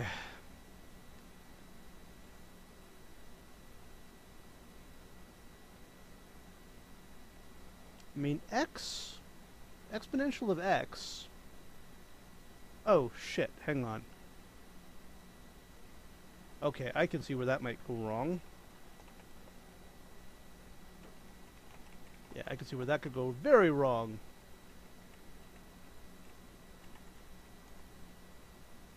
What the hell? It almost worked. Oh.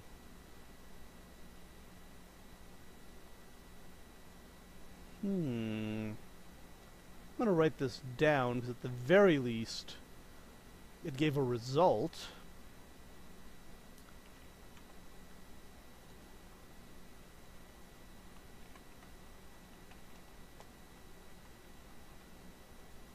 So keep forgetting, hitting return should just do nothing, but it doesn't. So this kind of did it. Um, uh,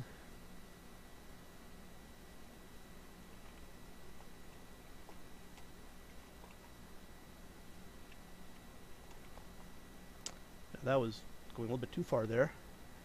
Um, I'm trying to see what the exponential function to this is, but in other words, what the daily percent rate is. Yeah, so this is a 7.4% growth rate, um, which we're probably not seeing anymore. But okay, so I'm still not happy because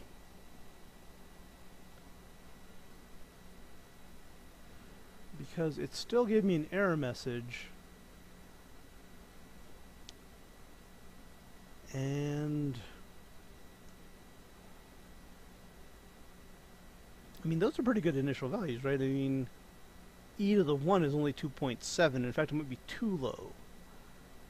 Um, well, let's see if we can give it a slightly better initial value. Um, let's make it log of 90,000.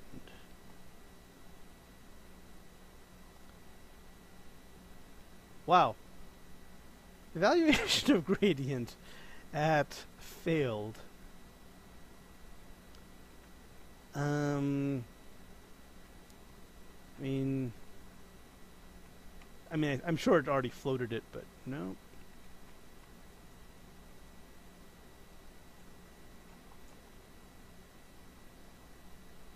Okay, so this is using a slightly different initial value. Let's see if we got the same thing. Yeah, so okay, so th these values are probably accurate even though it's giving us errors. I mean, you know, to the extent something can be accurate. Um, okay, so now that we have that, we can now look at the residual. We can now do whatever the hell it is we did for the linear example. We'll plot it actually. Um, like this. If that works. That looks incorrect because that estimator is not all right.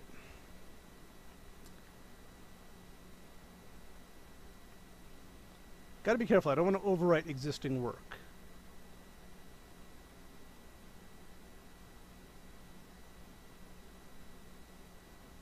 Here we are. Um,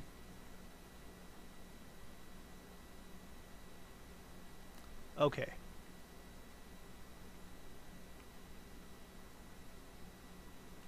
Nope. Okay, what are the... Um... Okay, I guess we need to do the other steps here too. So this is the estimate, now we need the substitution step. Okay, this is getting a little bit ugly now. Oh no, this is actually fine. This is this is for the uh, for the linear model. Okay, so now we need the substitution.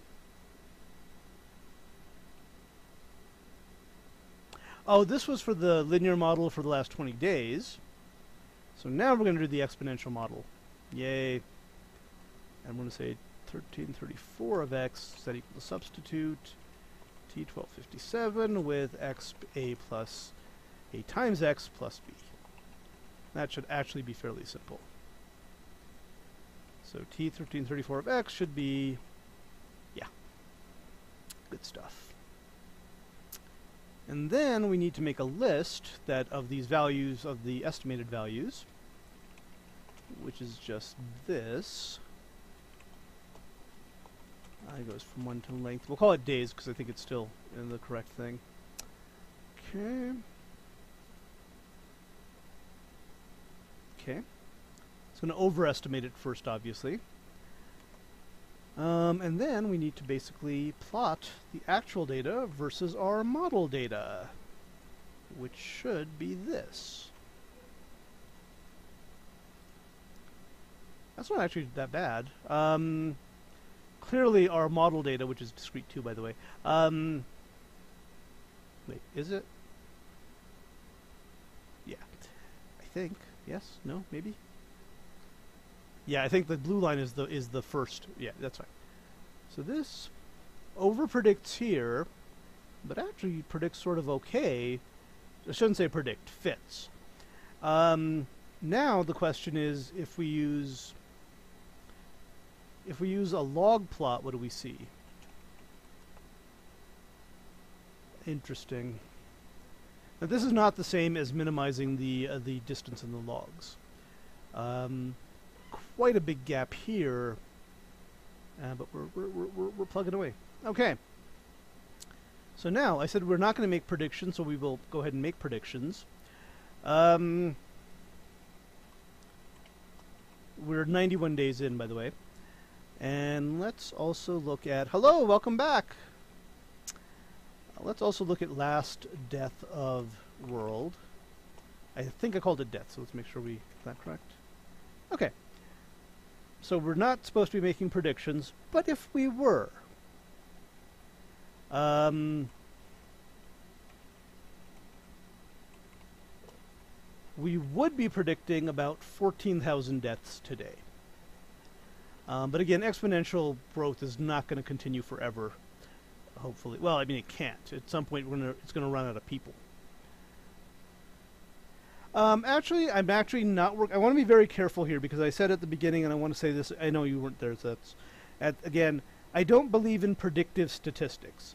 What I'm doing is curve fitting to existing data, and I'm trying to show a. so I did a linear fit to the existing data, which didn't work. But then I did a linear fit to the last 20 days, uh, which worked better because the data is more. Um, uh, the data. Let me actually let me plot that data for you real quick because it is a good thing to see. Um,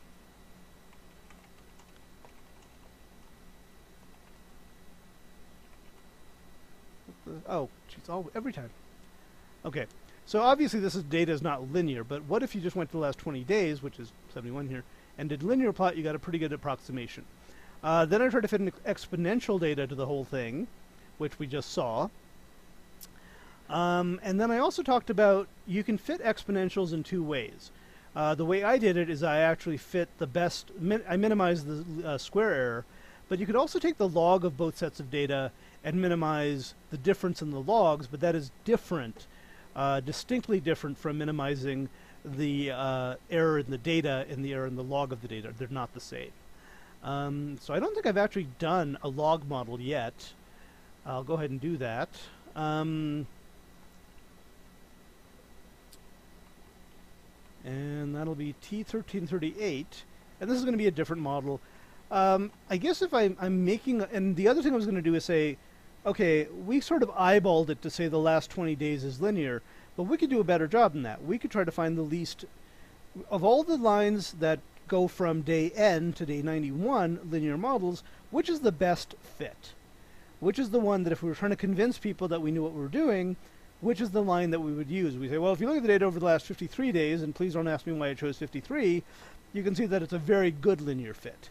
And we could certainly do that by looking at linear fits for different sections of the data, different subsections of the data. Um, so now this is actually, this one I've done before and it actually works pretty good. Um, log of y is equal to ax plus b. This actually shows sort of a nice feature of um, of maxima is that you don't have to say y equals something. You can just say this, and I think this this should work. Yeah. Also, I mean that that is correct. I mean that literally is correct, but maybe it would be nice to do this. I'm going to skip Pomodoro this time because we are someone is in the stream. Very nicely. So this would be the uh, the best fit log data. And it predicts a growth rate of, the other one predicted about 7% per day. This predicts 9% per day. Um, so let's go ahead and do the, um, so again, this is the least squares for the log of the data um, as a linear function. Um, and the point I was going to make at one point is this and this will not give you identical results. Uh, because there's a difference between minimizing the log differ the difference of the logs and the difference of the actual values. So let's go ahead and call this T1340x set equal to into and this is again now actually a times x plus b because obviously we're saying y is equal to this. Okay.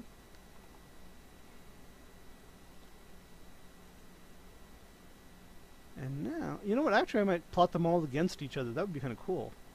Um, just to see how the different estimates. And I guess if, if I have a point here, it is really curve fitting does not give you predictive data. Because depending on how you do your curve fitting, you can get all sorts of crazy results that don't agree with each other, but all look pretty good when you look at the original model and say these are pretty close to the original data, but yet if you project them into the future, the results are wildly different. They're nowhere near the same. Okay, did I did I do this? I did. Okay. And then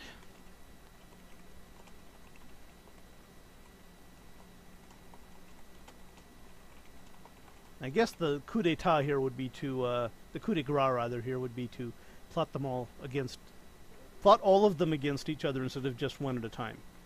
Um, but let's see what this does.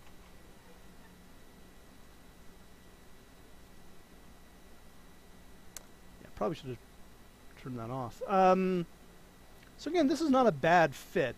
I mean, well, it's kind of a bad fit here because this is a big difference in real num in the numbers themselves.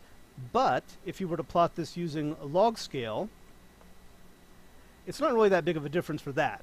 Um, but that's that's where these models sort of become, you know, uh, very different.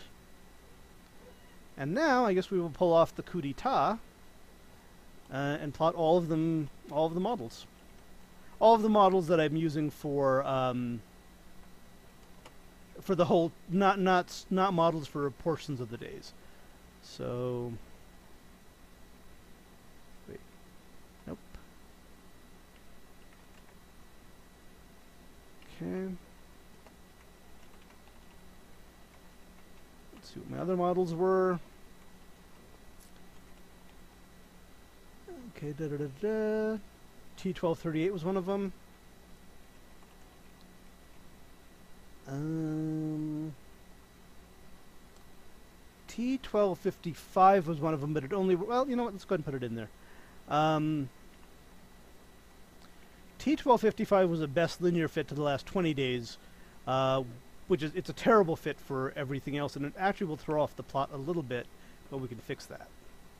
And then we have the true exponential fit. Uh, you know what, I don't like this one. Sorry, we're going to get rid of it. And then we're going to have the log, the best fit to the logs. Um, oh, I guess we already had that one. So I think I'm off by something here, but let me let me double check this. Plot 2D. T1238's in there. T1255 is not in there, but it oh it shouldn't be because that's one I'm skipping. T1335, and T13. Okay, so these are the three models. Linear, best fit exponential, and best fit log linear. And they should all be different, unless I screwed something up. Um,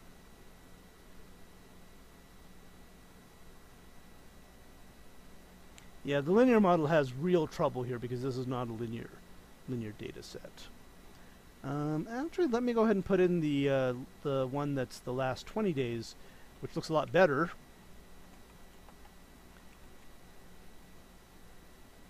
A logistic curve.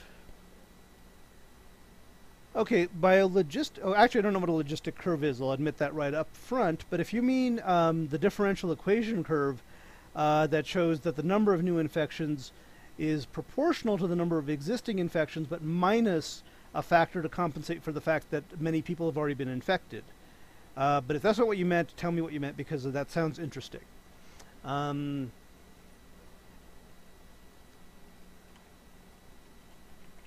and until that, we're going to look at the um, the the model that that looks a lot better because it uses less less time. And here I'm going to go ahead and not do that. Um, God damn it.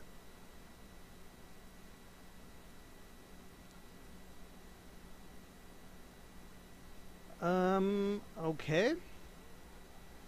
I mean, I could use an interpolation curve, but that's just cubic splining. That's not does that doesn't even attempt to be predictive. Um, I did find that if you use a fifth degree polynomial, you can fit the data really well. Um, but again, it's garbage because it predicts really high values afterwards. Um, So this is the the black line here is the linear data if you only go back 20 days, and um, the blue line, by the way, is the actual data itself. Um, okay, let's take a quick look. I don't like looking at um, at YouTube videos online because it really screws things up. But let's look at this. I think this is the solution to the differential equation uh, that someone mentions. But let's see what this is. We're going to go ahead and mute this guy. Um, let's see. Yes, the, the, the, equation being used here um, assumes that the number of people you infect is greater than 1, but it also compensates for the fact that some of the people you infect will already be infected. So that's a lower number. Now, because such a small portion of the world is infected right now, this number is actually going to be very, very, because um, one the tau, the proportion that's not infected, tau, the number actually, the percentage infected, is infinitesimally small. Um, so, but okay. Oh, okay. 1 minus 2 equals... Okay, so what we're saying here is... Um, the final epidemic size solves to 1 minus tau equals e to the minus r0 tau, uh, which depends on r0. Okay, we can solve this differential equation, but if you accept that um, R0 for the coronavirus is 2, this is pretty much going to tell you the epidemic's going to kill um, like 4 billion people, I think. But you know what? Let's let's solve this. Um, yeah. So tau is going to be the number, the percentage of people infected.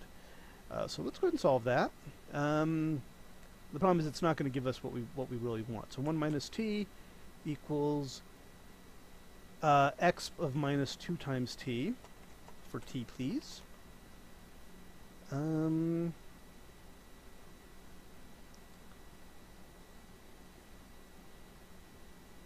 that's not what I wanted. I don't know how to use this, do I? Um, let's see if we can just do this. Can we just say solve it? Yeah, that, that doesn't really solve it. That just puts it in another form. Is there an NSolve here? Okay. Magic will now happen. We will now plot 1 minus t. We'll plot both of these.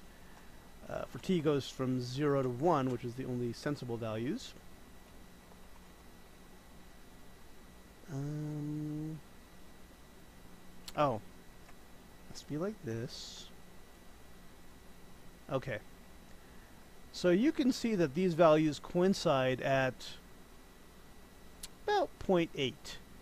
So that's saying that tau, which is the um, final epidemic size, which is the, according to this, we the 80% of the world will get infected. Now, of course, I'm only plotting deaths. I'm not looking at the number infected. So I guess in theory, 80% uh, of the world could get infected. Uh, that's still a lot of people. That's like uh, 7.5 billion people in the world. Um, I mean, that's that's a lot of people. Six billion people infected. I don't see that happening. It could happen. So, so what I'm saying, the problem here is, um, I am I am familiar with this equation, uh, and and the idea is that you have to adjust a little bit for the fact that some people are already infected. Um, uh, transmission probability, right, and then you have to subtract off the people who are already infected, so you can't reinfect them. Okay, so so thank you. That was actually very useful. Um, but I think in this case, the the ignoring the people who are already infected, or I guess in this case, would be ignoring the people who are already dead. Um, there's very few of those. Um,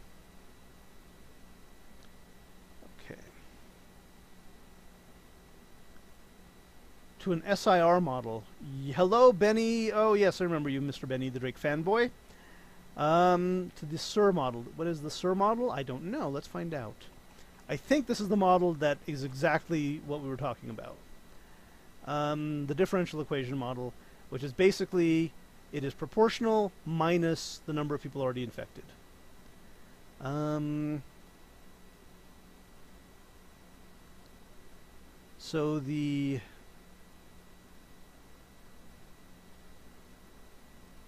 number susceptible, number infected. Okay, now this is a little bit different because susceptible, we assume there's a portion of the society that's already uh, that has no vulnerability.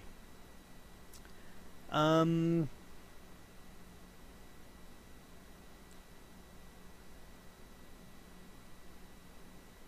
and this, I guess, is a um, instruction on how to find this.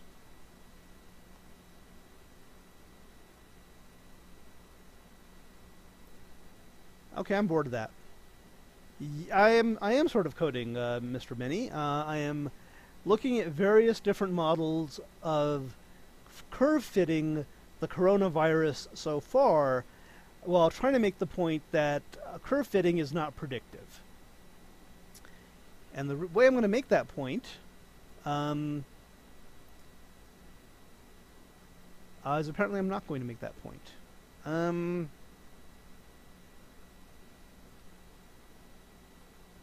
Well, the situation currently, I think, is getting better. But again, I don't like predictive statistics, um, and that is another point. The geographical area is is an, is a factor here. Um, but I don't I don't believe in predictive statistics. So I can tell you whether you know compared to yesterday we're doing better. Uh, right now we're looking at the world. We could certainly look at America as well. Um, and even in America, as as high altitude Chernenkov points out, different uh, states are doing. Uh, New York, New Jersey area is doing very poorly right now. Um, most of the other states are doing okay. Uh, we could certainly look at the Worldometer data, and, and, and go from there. We and I do actually have the deaths. You know, we could we could do all these things for the. Um, here are the deaths in the USA. Why didn't that work? Oh, it's U.S. Okay, so here's how many deaths we've had in the U.S. through yesterday. Um, yes, and, and this, I'm not sure I believe this, but yeah, the general theory here is uh, the epidemic is has the, uh, when it initially hits, you have exponential growth right at the beginning, while people are getting, um, people are getting, uh, you know, people are getting sick and infecting each other very quickly. Uh, then you sort of get this little, uh, you know, uh, linear growth after that. That that seems to be, and I actually kind of want to look at that. Um, some people are saying well, you start with exponential growth, and then it fades down to linear growth. Um, and so that would be a that would be a hybrid model uh, that we would be using there. Um, saying you know exponential until day n, then linear. Obviously, they'd have to connect at the point where they uh, where they switch from being exponential to linear. Um, but again, I'm that. I mean, some of it is social distancing and people staying at home and getting panicked and stuff, and not going out. Um, and so that really slows down the exponential spread. But part of it is also um, a lot of people who are going to get the coronavirus will actually recover at home, and some might. covered my cough, you're not going to die. Um, but some people get it and recover from it. So I think the best number to look at is the number of deaths because that is, I mean, not everyone can report corona deaths correctly, but that is sort of the number that is, um, you know, we, we do, you don't have to worry about how many people you're testing. You don't have to worry about how many people got it and didn't report it because it wasn't serious enough. Uh, that is the uh, number we actually. Let's go ahead and bring this sucker back up. Reload to 182,000 deaths in the world. Um, and if you look at the total deaths, again, I'm saying this is this is really exponential right here, where it goes from like here to here.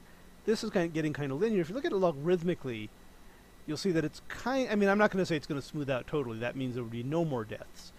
Um, but if you accept projection that this will continue, we don't really see it reaching a million. We kind of see it just sort of going up a little. It, I mean, it went up a lot, then it kind of flattened out. Then it kind of hit America, and now I say it's flattening out again. But please, all of this should be taken with a grain of salt because my main point is you can't predict the future even with statistics. Whoa. Jesus Christ. That's something to put on a stream, huh?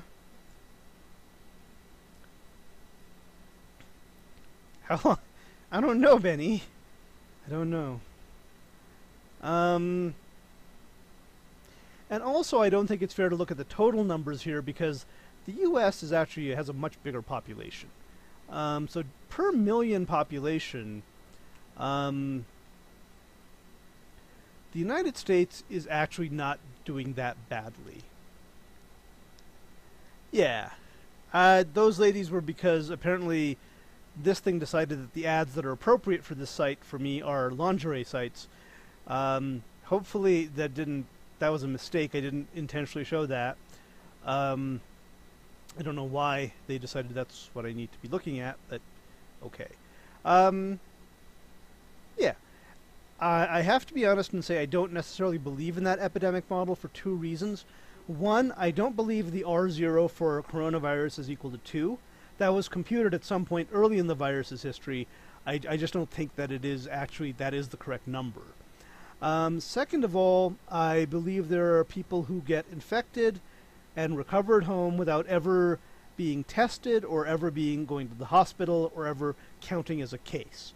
Um, so I don't necessarily see that uh, the exponential spread will not necessarily be reflected in the number of in the number of cases. Uh, you can, and now and the and the point is, uh, if you look at the exponential data. Okay, I'm going to ask you this question because you seem to be pretty smart, Mister Mister High Altitude Chernekov. Um, the R0 tells us that every one person infects two other people. But the question is, what's the time period on that? Is that like per day? Every it, should we be seeing the virus doubling every day, or is that over a different period of time?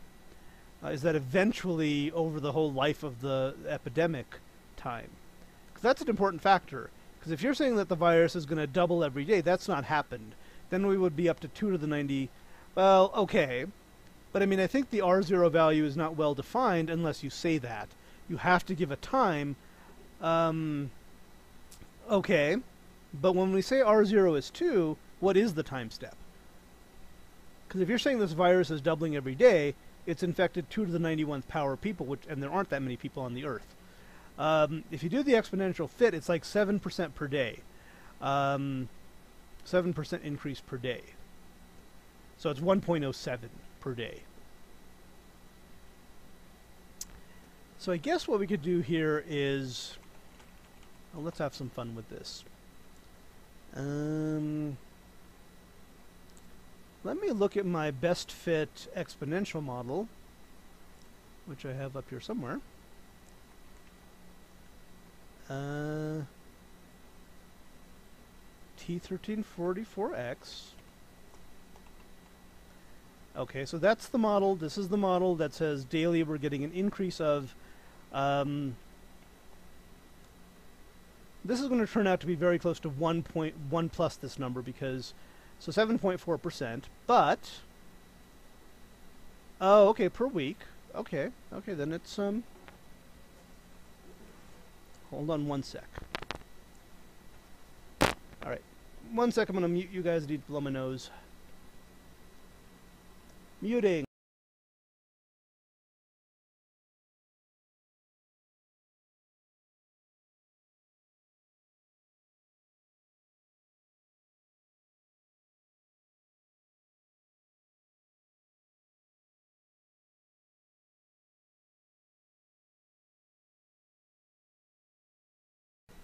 And we're back. Okay. Um. Okay, well, yeah, that's fine. No, no, I mean, that, that, that actually makes some sense. Okay, so if this is the growth rate uh, over one day, over seven days, you just multiply this by seven or take it to the seventh power. Okay, and in that case, if you're looking at it per week, the current best fit R0 is 1.65-ish. Um, um, now, see, here's my problem with this. I mean, it, it, this might actually be correct. But you look at 1.65 versus 2 and you say, well, that's pretty much the same thing, right? I mean, um, doubling per week is pretty much the same thing as increasing by 1.6465 every week, and that is not the that is not true. Um, du doubling is very. I don't use. I use. I'm using a CentOS on a virtual machine, not Windows. Um, and my point is that you know you look at 1.65 and 2 and think they're very similar numbers, but they're not. They make very different projections. Um, so if you take this number as being um, correct, then the doubling time will be in days, in days, will be, god damn it,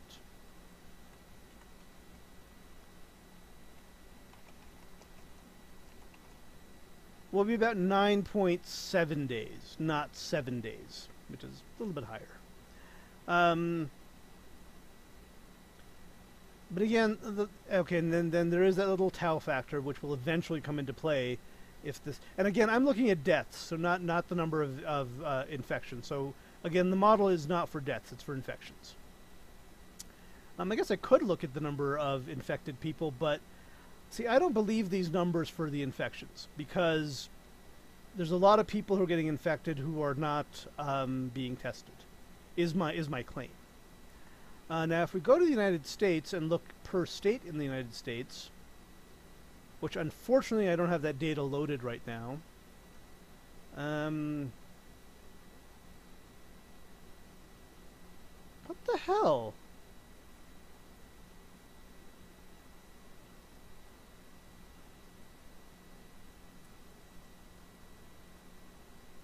Probable deaths, probable deaths, probable cases. Um, And here, if you look at the deaths per million population, uh, New York has now exceeded 0.1% deaths. That is, that is pretty bad. That is pretty bad. New Jersey, not actually a close second. Most of the nation doing okay. Um, yeah, yeah, absolutely. Um, and I mean, part of it is because we don't really want to be testing people. Even if someone has the coronavirus and has a mild case of it, uh, and gets over it, we don't necessarily be wanting to be. We don't necessarily want to be testing that person. Apparently, I also have the coronavirus. We only want to be testing people who might need medical attention. So anyway, and we could we could look at this all day. And the point I was trying to make is, um, and it's made in other places as well. Uh, your mathematical model can vary greatly depending on your assumptions. Um, I mean, what does the word stochastic mean to you?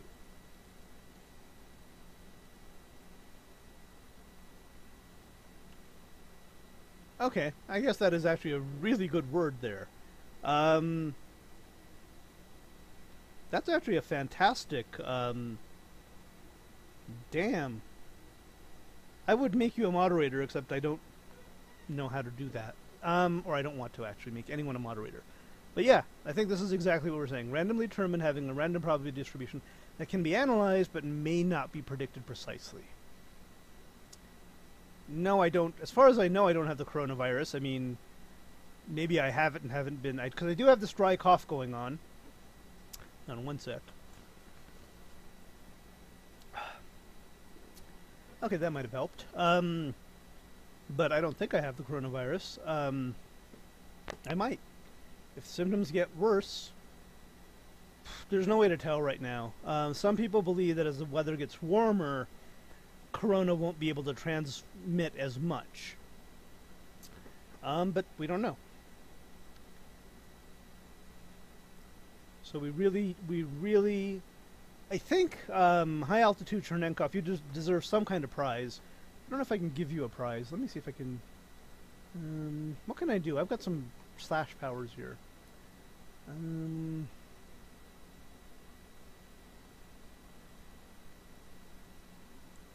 ooh.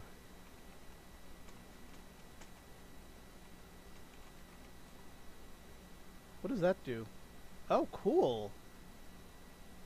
Oh, that might be a good way to keep track of what my what the fuck I'm doing in my streams. Okay. I can't see any way to give you special... I think I have... Everyone gets, like, points or something. Um... Oh, I want to show a timestamp. Um...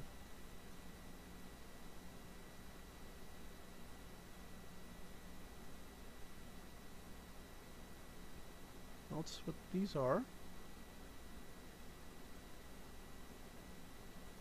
No filters. I have no filters.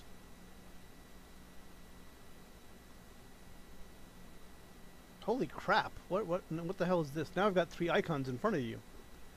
Um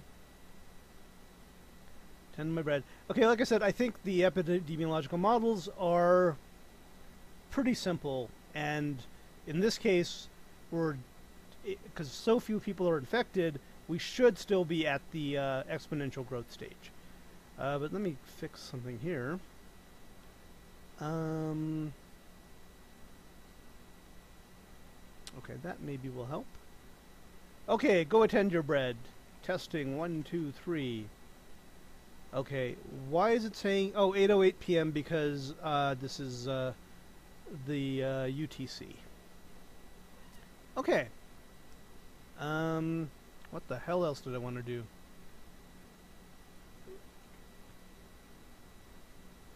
Um, sorry, I'm being distracted one more time by um, okay. I've been on for two hours and 20 minutes, but if uh, high altitude Chernenkov have a good whatever it is you're doing, um, Benny the Drake fanboy, if you have any suggestions for the stream, I'm going to try to see what I was going to do. Um, uh, I think I've, I've accomplished some of what I wanted to do. The next thing I really wanted to do, though, is because we had to do this process step by step four different times. What we really want to do is have a, a procedure or what they call a, a function or I think, I think module is what Mathematica calls it that you give it a list of these numbers and it sort of spits all this out for you. It, it returns functions that model this data. It gives you the residuals. Uh, it gives you the estimates based on those functions, etc., etc. And um, I don't think I've defined any modules right now. Um, I have defined some functions, but none of them appear to use uh, real modular kind of data. Um, at least not here. I think I have defined the module somewhere down here. Um, uh, which I, oh, it's called a block. I think these guys call it a block. There we are. And that is basically given a list. Um, of just numbers, uh, find the best squared estimate of it uh, to the nth polynomial, to a polynomial of degree n. Technically a polynomial, yeah, it is a degree, a polynomial of degree n. So this is an example of how you would do something like that. Um,